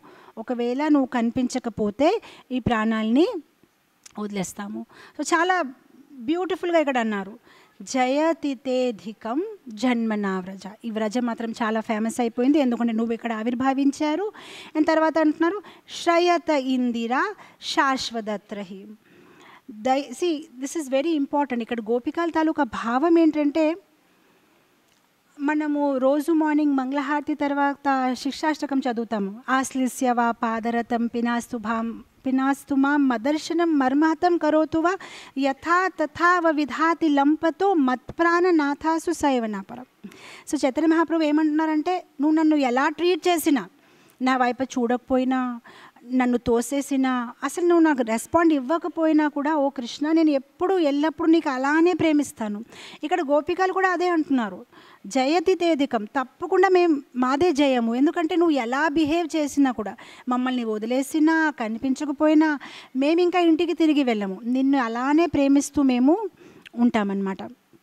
తర్వాత అంటున్నారు దయత దృశ్యత దీక్షుతావిక. ప్రతి దిశలో నిన్ను వెతుకున్నాము కానీ నువ్వు ఎక్కడా కనిపించలేదు. ఇక్కడ ఇంకొక వైష్ణవాచార్య చాలా బాగా చెప్పారు. దయత అంటే దాని ఇంకొక అర్థం కూడా మనం చెప్పుకోవచ్చు. మా మీద దయ చూపించు. మా మీద దయ చూపించు. ఎందుకు దయ చూపించమంటున్నారు అంటే గోపికల తాలూకా ఆంతరిక భావం ఏంటంటే మేము తప్పు చేసాం కదా దానికి నువ్వు శిక్షిస్తున్నావు. మాకు అర్థమైపోయింది. ఏం తప్పు చేశారు గోపికలు? ఇందాక చెప్పాను కదండి ఏం చెప్పారు ఏం చేశారు తప్పు? గర్వం చూపించారు. అంతే. సో ఇప్పుడు వాళ్ళకి తెలుసు కదా వాళ్ళు గర్వం చూపించారని. అందు గురించి దయ అడుగుతున్నారు. వాళ్ళకి అర్థమైంది వాళ్ళ తప్పు. సో వాళ్ళు ఇక్కడ అంటున్నారు. అంటే డిఫరెంట్ ఆచార్యస్ కమెంటరీ మీకు చెప్తున్నాను. ఎవరు ఎలాంటి భావంలో దీన్ని తీసుకున్నారు? సో వాళ్ళు అంటున్నారు ఈ గోపికలు వాళ్ళ మనసులో అనుకుంటున్నారనమాట మేము తప్పు చేసాం కదా మాకు మీద దయా చూపించవా? మేము భవస తప్పు చేశామని శిక్షిస్తున్నావేమో అందుకోసం మాయమైపోయావు. కానీ నువ్వు నువ్వు దయాలు కదా నువ్వు అందరినీ క్షమిస్తావు కదా అది నీ స్వభావం కదా. అందుకోసం నువ్వు నన్ను క్షమించు. ఈ మీరాబాయ్ మీరాబాయి తాలూకా ఒక చాలా చక్కని భజన ఉంది హిందీలో. దాంట్లో ఆవిడ కూడా అలానే అంటారు. ప్రభుజీ మోరే అవగుణ చితనాధరో ప్రభుజీ మోరే అవగుణ చితనాధరో. తన అంటారు ఆ, ఆ లైన్ మర్చిపోతున్నాను. నాలో ఉన్న అవగణాలు చిత్తనాధారు అంటే నీ హృదయంలో పట్టించుకోవద్దు. మర్చిపో ఎందుకంటే నాలో ఆ గుణాలు అయితే ఉన్నాయి కానీ నువ్వు మర్చిపో చాహే తో పార కరో సమదర్శి హే నామ తుమ్హారా. చాహే తో పార కరో ప్రభుజీ మోరే అవగుణ. चितनाधरो प्रभु जी मोरे अवगुण चितनाधरो సమదర్శి హే నామ తుమ్హారా చాహే తో పార్ కరు అసలు నీ పేరే అది సమదర్శి అందరికీ సమానంగా చూస్తావు సో ఒకవేళ నీకు ఇష్టం ఉంటే నన్ను తరిస్తావా నా నాలో దోషాలైతే ఉన్నాయి ఒప్పుకుంటాను కానీ నువ్వు మాత్రం పట్టించుకోవద్దు సి కృష్ణుడితో చాలా క్లోజ్గా మాట్లాడుతున్నారు గోపికలు ఒక్కొక్కసారి మన ఫ్రెండ్ సర్కిల్లో కూడా మనం వాళ్ళతో అలా మాట్లాడినప్పుడు అంటారు కదా అయ్యో నేను ఆ రోజు చాలా కోపంగా మాట్లాడానండి ఏమనుకోవద్దండి పట్టించుకోవద్దండి అని మనం మాట్లాడతాం కదా నార్మల్గానే వాళ్ళు కూడా కృష్ణుతో అలానే మాట్లాడుతున్నారు. మేము గర్వం చేసుకున్నామేమో కానీ పట్టించుకోవద్దు మర్చిపో అది అయిపోయింది అయిపోయింది. పోనీ మా స్వభావం అలా ఉంది కానీ నీ స్వభావం బాగుంది కదా. మేము అలానే ఉన్నాం కానీ నువ్వు మంచోడు కదా మమ్మల్ని క్షమించవచ్చు కదా అని అంటున్నారనమాట సో దయిత దృశ్యత దీక్షుతావకాశ. చాలా వెతుకున్నాం నీకు ప్రతి చోట్ల నువ్వు ఎక్కడ మాకు దొరకలేదు. త్వయి ధృత సవాస్ శ్వాస్ శ్వాసం మా ప్రాణాన్ని మేము ధరిస్తున్నాము ఒకే హోప్తోని నువ్వు వెనక వస్తావు అనమాట త్వం విచిన్వతే విచిన్వత అంటే వెతుకున్నాము ఎక్కడ దొరకలేదు దయచేసి వెనక రా అనమాట సెకండ్ శ్లోకం.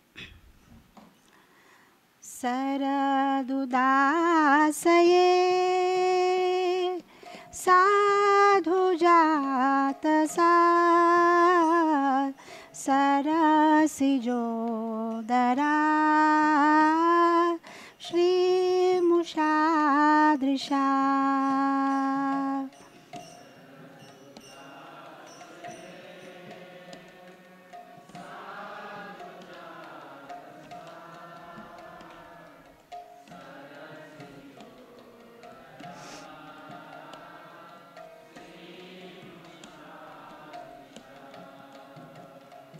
सरदुदासये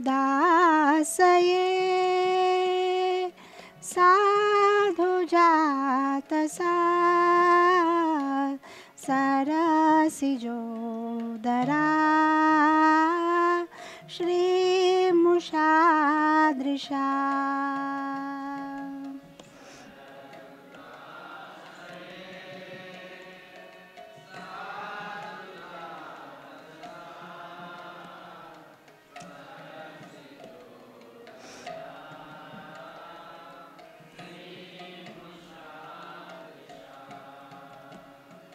सुरातनाथ ते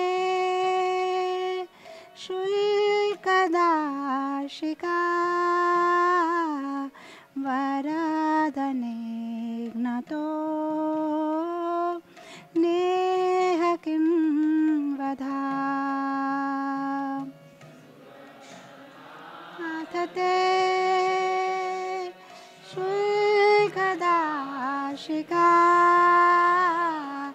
వరదనిఘ్నతో నేహ కిం వధా ఇక్కడ చాలా బాగా చెప్తున్నారు. నెక్స్ట్ గోపి శరదుదాసయే శరద్ అంటే శరత్ ఋతులోనే ఉదాసయే అంటే ఆ చెరువు చాలా అందంగా కనిపిస్తుంది. ఎందుకంటే శరత్ ఋతు ఉన్నప్పుడు ఆ చెరువు మధ్యలోని కమల పువ్వులు ఎంత బాగా వస్తాయి. సాధుజాత సత్ అంటే చాలా మంచిగా గ్రో అవుతాయి. ఎక్సలెంట్గా ఫటాఫట్గా గ్రో అవుతాయి. సరసి జోదర అంటే ఆ కమల పువ్వు శ్రీ ముషాదృష శ్రీ అంటే చాలా అందంగా ఉంటాయి. అండ్ అది ఎందుకు అందంగా తయారవుతాయి? ఎందుకంటే నువ్వు ఆ ఒక్క కమల పువ్వు వైపు చూస్తావు కదా నీ చూపుతోనే అది ఇంకా అందంగా పెరుగుతాయి అన్నమాట కొంతమంది వైష్ణవాచార్యులు అంటున్నారు గోపికలు ఒక ఆంతరిక భావం ఏంటంటే ఎలా అయితే శరద ఋతువులో ఉన్న చెరువు చాలా క్రిస్టల్ క్లియర్ వాటర్లోని మంచి పువ్వులు పెరుగుతున్నాయి అలానే భక్తుల తాలూకా హృదయం కూడా చాలా పరిశుభ్రంగా ఉంటుంది. అండ్ దాంట్ లోపల భక్తి విత్తనాలు చాలా మంచి లతాగా పెరుగుతాయి మెల్లమెల్లగా అది పెద్ద అవుతూ వెళ్ళిపోతాయి. అండ్ ఎప్పుడైతే కృష్ణ తాలూకా కృపా దృష్టి దాని మీద పడుతుంది అది ఇంకా అందంగా తయారవుతుంది. సో ఇక్కడ వాళ్ళు అంటున్నారనమాట మొత్తం గోపికాలు ఎక్స్ప్లెయిన్ చేస్తున్నారు అసలు క్లైమేట్ ఎలా ఉంది ఎంత బాగుంది పరివేశము చక్క చెరువు లోపల కమలు పువ్వులు ఉన్నాయి. అండ్ ఇంకొక భావం ఏంటంటే ఆ శరద ఋతువు రోజు చెరువు లోపల కమల పువ్వులు ఎంత అందంగా కనిపిస్తాయి. నీ చూపు కూడా అలా అందంగా ఉంటుంది స్వామి. ఎప్పుడైతే నువ్వు మా వైపు చూస్తావో అది ఎంత అందంగా కనిపిస్తుంది. అంటే ఆ అందము శరద ఋతు తాలూకా కమల పువ్వులాగా ఉంటుంది. తర్వాత అంటున్నారు సురతనాథతే. సురతనాథ్ అంటే గాడ్ ఆఫ్ లవ్ ప్రేమ తాలూకా దేవత. సో ఇక్కడ అంటున్నారు నువ్వు ప్రేమ తాలూకా దేవత సో దేవతలు ఏం చేస్తారు? ఎప్పుడైతే మనం ఏదైనా దేవత దగ్గరికి వెళ్తే ఏం చేస్తారు వాళ్ళు? వరాల్ని ఇస్తారు. సో నువ్వు ప్రేమ తాలూకా దేవత నీ దగ్గర వచ్చి మేము ప్రేమని అడిగాము. నువ్వు ప్రేమని పంచాలి ప్రేమని వరద అంటే వరంని ఇవ్వాలి. మరి ఇదేంటి వింతగాని నువ్వు వరం ఇవ్వకుండా మాయమైపోయావేంటి? మేము అసలు ఇంక ఇంకేం అడగలేదు కదా. సింపుల్గా నువ్వు ప్రేమ తాలూకా దేవత కనుక ప్రేమే అడిగాము. ఆ ప్రేమ ఇవ్వకుండా నువ్వేంటి అలా మాయమైపోయావు అని వాదిస్తున్నారనమాట సురతనాథతే శుల్కదాశిక. నువ్వెందుకు ఇలా ప్రవర్తిస్తున్నావు? తర్వాత అంటున్నారు శుల్కదాసిక అంటే మేము ఏదో గొప్పగా ఈ వృందావన్ తాలూకా మహారాణిలని మేమేము ఇచ్చే చెప్పట్లేదు. మేము ఈ వృందావన్కి చెందిన పని మనుషులు మేడ్ సర్వెంట్సే నీ పని మనుషులు. సో మాకు పని మనుషులు అంటే వాళ్ళు వాళ్ళ మీద దయ వస్తుంది కదా. సో మేము చాలా హంబల్గా వినయంగా నీకు ప్రేమని అరుగు అడుగుతున్నాము మాకు ప్రేమని ఇవ్వు. మళ్ళీ కొంతమంది వైష్ణవాచార్యులు అన్నారు లేదు గోపికలు ఈ శుల్క దాశిక అంటే ఏ పని మనుషులు అయితే ఫ్రీగా పని చేస్తున్నారు. శుల్క దాసిక అంటే డబ్బులు తీసుకోలేదు పని మనుషులు ఫ్రీగా పని చేసిన పని మనుషులు. అంటే మేమేం నీ దగ్గర అడగలేదు కదా. సో గోపికలు ఏమంటున్నారంటే ఇప్పుడు ఈ భౌతిక ప్రపంచంలో కూడా మన అందరూ కూడా మనలో అలాంటి భావం ఉండొచ్చు. నేను కృష్ణ తాలూకా దాసిని నేను కృష్ణ తాలూకా పని మనిషిని. కానీ మనం ఎలాంటి పని మనిషి అంటే మనకి జీతం కావాలి. మనకి జీతం కావాలి. కృష్ణ చేసిన ప్రతి కృష్ణుకి అందించిన ప్రతి సేవకి మనకు జీతం కావాలి. నేను మంగళహారతికి వచ్చాను చాంటింగ్ చేశాను దానం ఇచ్చాను ఎంత సేవని అందించాను. సో నెల ఆఖరికి నా జీతము అది అలాంటి పని మనుషులు మనము. కానీ వీళ్ళు అంటున్నారు శుల్క దాశిక మేమేం డబ్బుల కోసం రాలేదు నీ దగ్గర. పోన్లే మేము ఏదైనా కోరుకోవడానికి రాలేదు నీ దగ్గర. మేము ఓన్లీ నిన్ను ప్రేమిస్తున్నామనే వచ్చాము అండ్ మేము విన్నాము. నువ్వు ప్రేమ తాలూకా దేవత సో ప్రేమ పంచుతావేమో అని మేము వచ్చాము. కానీ నువ్వేంటి మాకు ఎలా ఇలా ప్రవర్తిస్తున్నావు? కొంతమంది వైష్ణవాచార్యులు అంటారు లేదు వాళ్ళు గోపికలు ఎలా ఆలోచిస్తున్నారంటే ఓ కృష్ణ ఒకవేళ నువ్వు పోటీ పెట్టాలనుకుంటే నీతో సమానంగా ఉన్న వాళ్ళతో పోటీ పెట్టుకో. మాతో కాదు.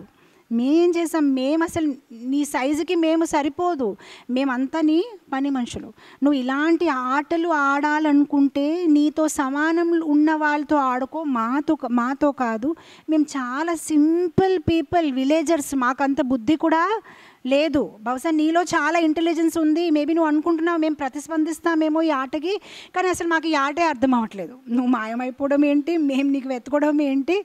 అసలు మేము సింపుల్ um, కౌహర్డ్ గర్ల్స్ మాకు అలాంటి అంత అర్థం అవ్వదు. శుల్క దాశిక మేమేం నీ దగ్గర ఆశించట్లేదు అని అంటున్నారు వరద నిఘ్నతో నేహ కింవద.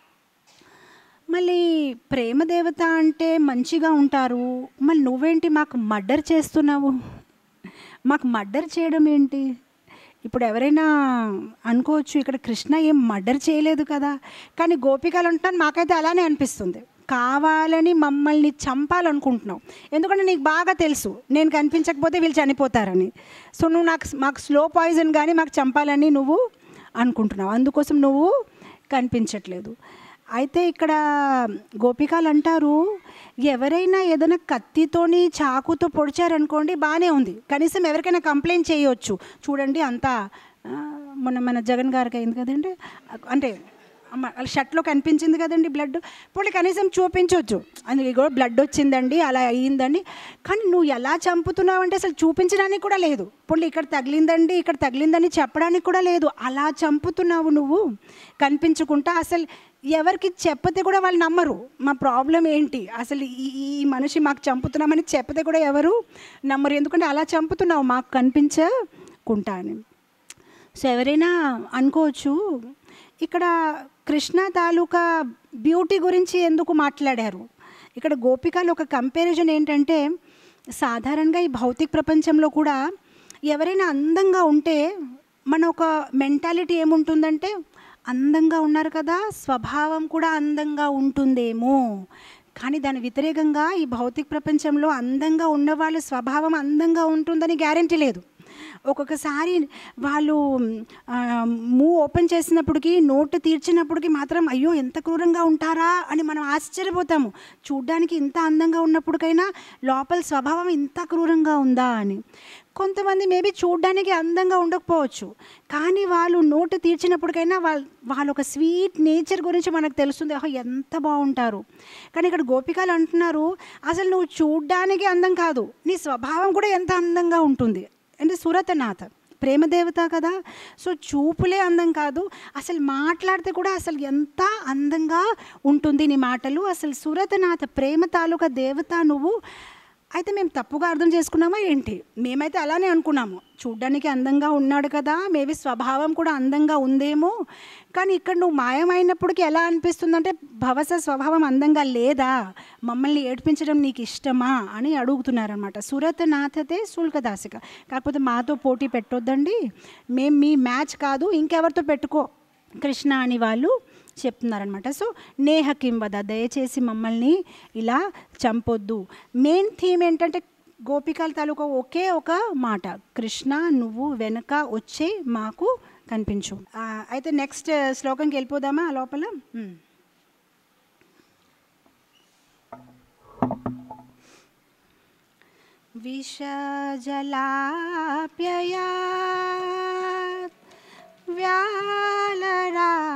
राक्षसात वर समारुतात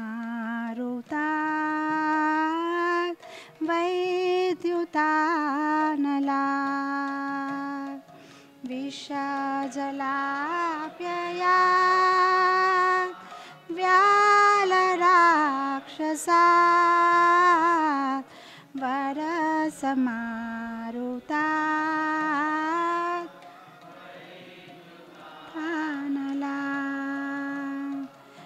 वृषमयात्मजा विश्वतो भया ऋषभते वयं रक्षितामुः वृषामयात्मजा विश्वतो भया ऋषभते वयं रक्षितामुः ఇక్కడ కంటిన్యూషన్ ఉంది గోపికలు అనుకుంటున్నారు మమ్మల్ని చంపాలని ఎందుకు అనుకుంటున్నావు యాక్చువల్గా ఇప్పుడు వరకు మేము చూసింది చిన్నప్పుడు నువ్వు పుట్టినప్పుడు నుంచి ఇప్పుడు వరకు ఎప్పుడు చూసినా మమ్మల్ని కాపాడావు అసలు చంపాలని ఎప్పుడు నువ్వు అనుకోలేదే? అంటే అప్పుడు ఆ శ్లోకంలో చెప్తున్నారు ఎక్కడ చెప్తున్నారు ఎక్కడెక్కడ నువ్వు మమ్మల్ని కాపాడావు? సో ఫస్ట్ అంటారు విష జలాప్యయాద్ ఆ విషంతో నిండి ఉన్న నీళ్ళు ఉందా అంటే ఆ కాళియ పాము ఉందా? ఆ కాళియ పాము నుంచి నువ్వు మమ్మల్ని కాపాడావు. విష జలాప్యయాద్ తర్వాత అంటున్నారు వ్యాల రాక్షసాద్. వ్యాల అంటే పాము. కానీ ఇక్కడ వ్యాల అనేసరికి రెండు పాముల గురించి గోపికలు చెప్తున్నారు. ఒకటి అఘాసుర్. మనందరికీ తెలుసు ఎలా అఘాసుర్ ఆయన ఒక నోట్ అంతా ఓపెన్ చేసి గోప బాలకులందరినీ ఆయన స్వాలో చేసేసుకుంటారు. అండ్ ఇంకొక పాము ఏంటంటే విద్యాధర్ పేరు మీద అంబికా వన్లో కృష్ణుడు తన కుటుంబంతో వెళ్ళినప్పుడు అక్కడ కూడా ఒక పాము విద్యాధర్ పేరు మీద వాళ్ళని అటాక్ చేస్తారు. కృష్ణుడు అక్కడ ఆ విద్యాధర్ పాముని చంపేస్తారనమాట సో ఇక్కడ అంటున్నారు విషజలాప్య కాళీయ పాముతో పాము నుంచి మమ్మల్ని కాపాడావు. అగాసు నుంచి కాపాడావు. విద్యాధర్ పాము నుంచి కాపాడావు. తర్వాత అంటున్నారు వర్ష మారుతాద్ వర్ష మారుతాద్ సో ఆ ఒక రెయిన్ నుంచి వర్షం నుంచి కూడా మమ్మల్ని కాపాడావు. ఎలా కాపాడావు? గోవర్ధన్ని ఎత్తావు. ఇక్కడ మారుతాద్ మారుతాద్కి చాలా మీనింగ్స్ ఉన్నాయి. ఇక్కడ మన భాగవతంలో మారుతాద్కి ఇచ్చారు విన్ స్ట్రామ్ అంటే ఇక్కడ మీరు చూడండి సుడు సుడిగాలి అంటారా? త్రినవర్త గురించి మన అందరికీ తెలుసు. త్రినవర్త అంటే సుడిగాలి రూపంలో వచ్చి కృష్ణుడిని తీసుకొని పైకి వెళ్ళిపోయారు. సో ఇక్కడ గోపికలు అంటారు వర్ష మారుతాద్. ఆ గోవర్ధన్ ఎత్తి మాకు వర్షం నుంచి కాపాడావు. మారుతాద త్రినవర్త నుంచి కాపాడావు. వైద్యుతానలాత్ వైద్యుతానలాత్ అంటే ఆ ఇంద్ర తాలూకా వజ్రం నుంచి మమ్మల్ని కాపాడావు. కోర్స్ వేరే వేరే వైష్ణవాచార్య దీనికి వేరే వేరేగా చెప్పారు. కొంతమంది అన్నారు మారుతాదంటే ఏదైతే చాలా హెవీగా ఉంటుంది.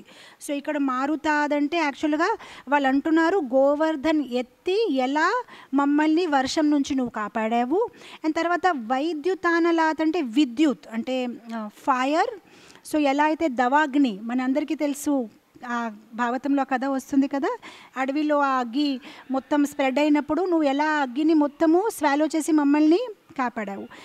సో విద్యుత్ అనలాత్ అనలాత్ అంటే సుదిగాలి. సో ఇక్కడ ఫస్ట్ అఘాసుర్ గురించి చెప్తూ కాళియా గురించి చెప్తూ విద్యాధర్ గురించి చెప్తూ ఇంద్రుడు గురించి చెప్తూ మళ్ళీ ఆ దవనల గురించి చెప్తూ మళ్ళీ అనల త్రినవర్త గురించి చెప్తూ వృషమయాత్మజాద్.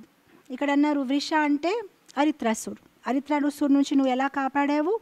మయాత్మజాద్. మాయా అంటే మాయాదానవ్ ఆత్మజాద్ అంటే మాయాదానవ్ తాలూకా కొడుకు అంటే వ్యోమాసూర్. సో మాకు వ్యోమాసూర్ నుంచి కాపాడావు అరిత్రాసుర్ నుంచి కాపాడావు. విశ్వతో భయాద్. యాక్చువల్గా మొత్తం విశ్వని నువ్వు భయం నుంచి కాపాడుతున్నావు అనమాట రిషభతే వయం. అయితే కృష్ణ రిషభ అంటే ఓ గ్రేట్ పర్సనాలిటీ ఓ గొప్ప అయిన తే వయం రక్షితాముహు. కానీ మాకు అర్థం అవ్వట్లేదు మళ్ళీ మమ్మల్ని ఎందుకు కాపాడట్లేదు? అన్ని ఇప్పుడు వరకు ఎంత కాపాడుకున్నావు? కానీ ఇప్పుడు మమ్మల్ని ఎందుకు మర్డర్ చేయాలనుకుంటున్నావు? ఇక్కడ గోపికలు అడిగింది చాలా సింపుల్ క్వశ్చన్ యాక్చువల్గా ఇక్కడ విశ్వనాథ్ చక్రవర్తి ఠాకూర్ ఒక కమెంటరీ కూడా ఉంది భాష్యంలో. మనం అనుకోవచ్చు ఈ గోపిక గీత్ పాడిన తర్వాత చాప్టర్లో హరిత్రాసుర్ గురించి వ్యోమాసుర్ గురించి వస్తుంది. సో ఈ రాసలీల అయినప్పటికీ కృష్ణుడు హరిత్రాసుర్ని వ్యోమాసుర్ని ఇంకా చంపలేదు. మళ్ళీ గోపికలకి ఎలా తెలిసి తెలిసిపోయింది? అసలు వాళ్ళు ఎలా మాట్లాడేస్తున్నారు? వాళ్ళ పాటలు అసలు అరిత్రాసురు ఇంకా రానే రాలేదు. సో అక్కడ విశ్వనాథ్ చక్రవర్తి ఠాకూర్ అంటారు గర్గముని ఎప్పుడైతే బృందావన్కి వచ్చారు ఆయన కృష్ణ గురించి ప్రెడిక్షన్స్ ఇచ్చారు. సో గోపికాలకి బాగా తెలుసు కృష్ణ దేవాది దేవుడు. సో అందు గురించి వాళ్ళకి అన్ని ఐడియా ఉంది. తర్వాత ఏ ఏ రాక్షసుడిని చంపిస్తా చంపుతారు ఏ రాక్షసుడిని చంపుతారు ఏం చేస్తారు వాళ్ళకి ముందు నుంచి అవగాహన ఉంది. కొంతమంది వైష్ణవాచార్యాలు అంటారు మళ్ళీ గోపికలు సాధారణ జీవులు కాదు కదా వాళ్ళు నిత్య సిద్ధ. సో వాళ్ళకి ఈ లీల అంతా బైహాటే ఉంది. ఎందుకంటే ఎన్ని కల్పాల్లోనే ఎన్నిసారి ఇదే లీల అవుతుంది. ఈ రాక్షస్ తర్వాత ఆ రాక్షస్ ఆ రాక్షస్ తర్వాత ఆ రాక్షస్ వాళ్ళకి ఆ నాలెడ్జ్ ఉంది కదా. సో అందుకోసం వాళ్ళు ముందే చెప్పేస్తున్నారు. పూర్వంలో మమ్మల్ని రక్షించావు. ఫ్యూచర్లో కూడా హరిత్రాసురు వ్యామాసురు వచ్చినప్పుడు రక్షిస్తావు. మళ్ళీ ప్రజెంట్లో ప్రాబ్లం ఏంటి? ప్రజెంట్లో ఎందుకు చంపడానికి ప్రయత్నిస్తున్నావు? అండ్ ఒకవేళ నువ్వు చంపాలనే ముందు నుంచి అనుకున్నావు అనుకో ఇప్పటి వరకు ఎందుకు కాపాడావు? అప్పుడే వదిలేస్తే అయిపోయేది కదా. లైక్ నంద మహారాజ్ ఎప్పుడైతే కృష్ణుడితో మథురాకి వెళ్తారు అక్కడ కంస చంపబడతారు అప్పుడు కృష్ణుడు నందమహారాజుతో చాలా మెల్లిగా అంటాడు నాన్న ఇప్పుడు మీరు బృందావన్ వెనక వెళ్ళిపోండి నేను రాలేను నాకు కొన్ని పనులు ఉన్నాయి పనులు తొందరగా ముగించి నేను వచ్చేస్తాను. సో అప్పుడు నందమహారాజుకి చాలా బాధగా ఉంది. అలా ఎలా కృష్ణుని వదిలేసి వెళ్ళిపోవాలి? కానీ కృష్ణ మాట వద్దనలేరు. అప్పుడు నందమహారాజు ఒక చాలా మంచి మాట అంటారు. ఆయన ఆయన చేతులు కృష్ణ తాలూకా భుజాల మీద పెట్టి ఒక మాట అంటారు. ఆయన అంటారు ఆ రోజు గోవర్ధన్ గిరి ఎత్తావు కదా ఎత్తినప్పుడు అదే నీ చిటికన వేల్లో ఎత్తావు. మాకందరికీ భయం వేసింది అసలు ఏమవుతుంది? అంత బ్యాలెన్స్ చేసావు నాకు ఇప్పుడు ఎలా అనిపిస్తుందంటే ఆ రోజు ఆ- ఆ బ్యాలెన్స్ కోల్పోయి ఆ గోవర్ధన్ మా మీద వదిలేస్తే బాగుండేది. ఎందుకంటే అప్పుడు ఉన్న పెయిన్కైనా ఇది మాత్రం ఇంకా ఎక్కువ నొప్పి ఉంది. ఎప్పుడైతే నువ్వు ఇలా చెప్తున్నావు నువ్వు రావు ఇది ఇంకా ఎక్కువ నొప్పిని ఇస్తుంది. బహుశా ఆ రోజు మా మీద గోవర్ధన్ పడేసినా అంత నొప్పిగా ఉండకపోవచ్చు అని నందమహారాజ్ అంటారనమాట కానీ ఈ రోజు ఏదైతే నువ్వు మాట్లాడావు నన్ను వదిలేసి వెళ్ళిపోండి నేను తర్వాత వస్తాను అది నాకు చాలా నొప్పిని ఇస్తుంది. అలా చెప్పొద్దు కృష్ణ అని నందమహారాజ్ అంటారు. సో ఇప్పుడు కూడా గోపికలు కూడా అదే అంటున్నారు. మళ్ళీ అప్పుడే వదిలేవలసింది కదా ఇంత కష్టపడి మమ్మల్ని కాపాడి మళ్ళీ ఇప్పుడు ఎందుకు వదిలేస్తున్నావు అని గోపికలు అంటున్నారు. సో ఇక్కడ అంటున్నారు విష మాకు ఎన్నెన్నో రాక్షసాల నుంచి నువ్వు కాపాడావు. ఇప్పుడు ఎందుకు మమ్మల్ని వదిలేస్తున్నావు? దయచేసి మమ్మల్ని కాపాడు. నువ్వు ఎందుకు వచ్చావు? విశ్వతో భయాత్. మొత్తం విశ్వాన్ని భయం నుంచి కాపాడడానికి వచ్చావు కదా మళ్ళీ ఆ విశ్వంలోనే బృందావనం ఉంది కదా. అండ్ దాంట్లో మేము కూడా భాగంగానే ఉన్నాం కదా మళ్ళీ మమ్మల్ని ఎందుకు వేరుగా చూస్తున్నావు దయచేసి మమ్మల్ని కాపాడు అనమాట సో వచ్చే ఆదివారం టెక్స్ట్ ఫోర్ నుంచి చూసుకుందాము ఈరోజు ఇక్కడే ఆపుదాము గోపి గీతకి జయ శ్రీ కృష్ణచంద్ర భగవాన్కి జయ కృష్ణ కృష్ణ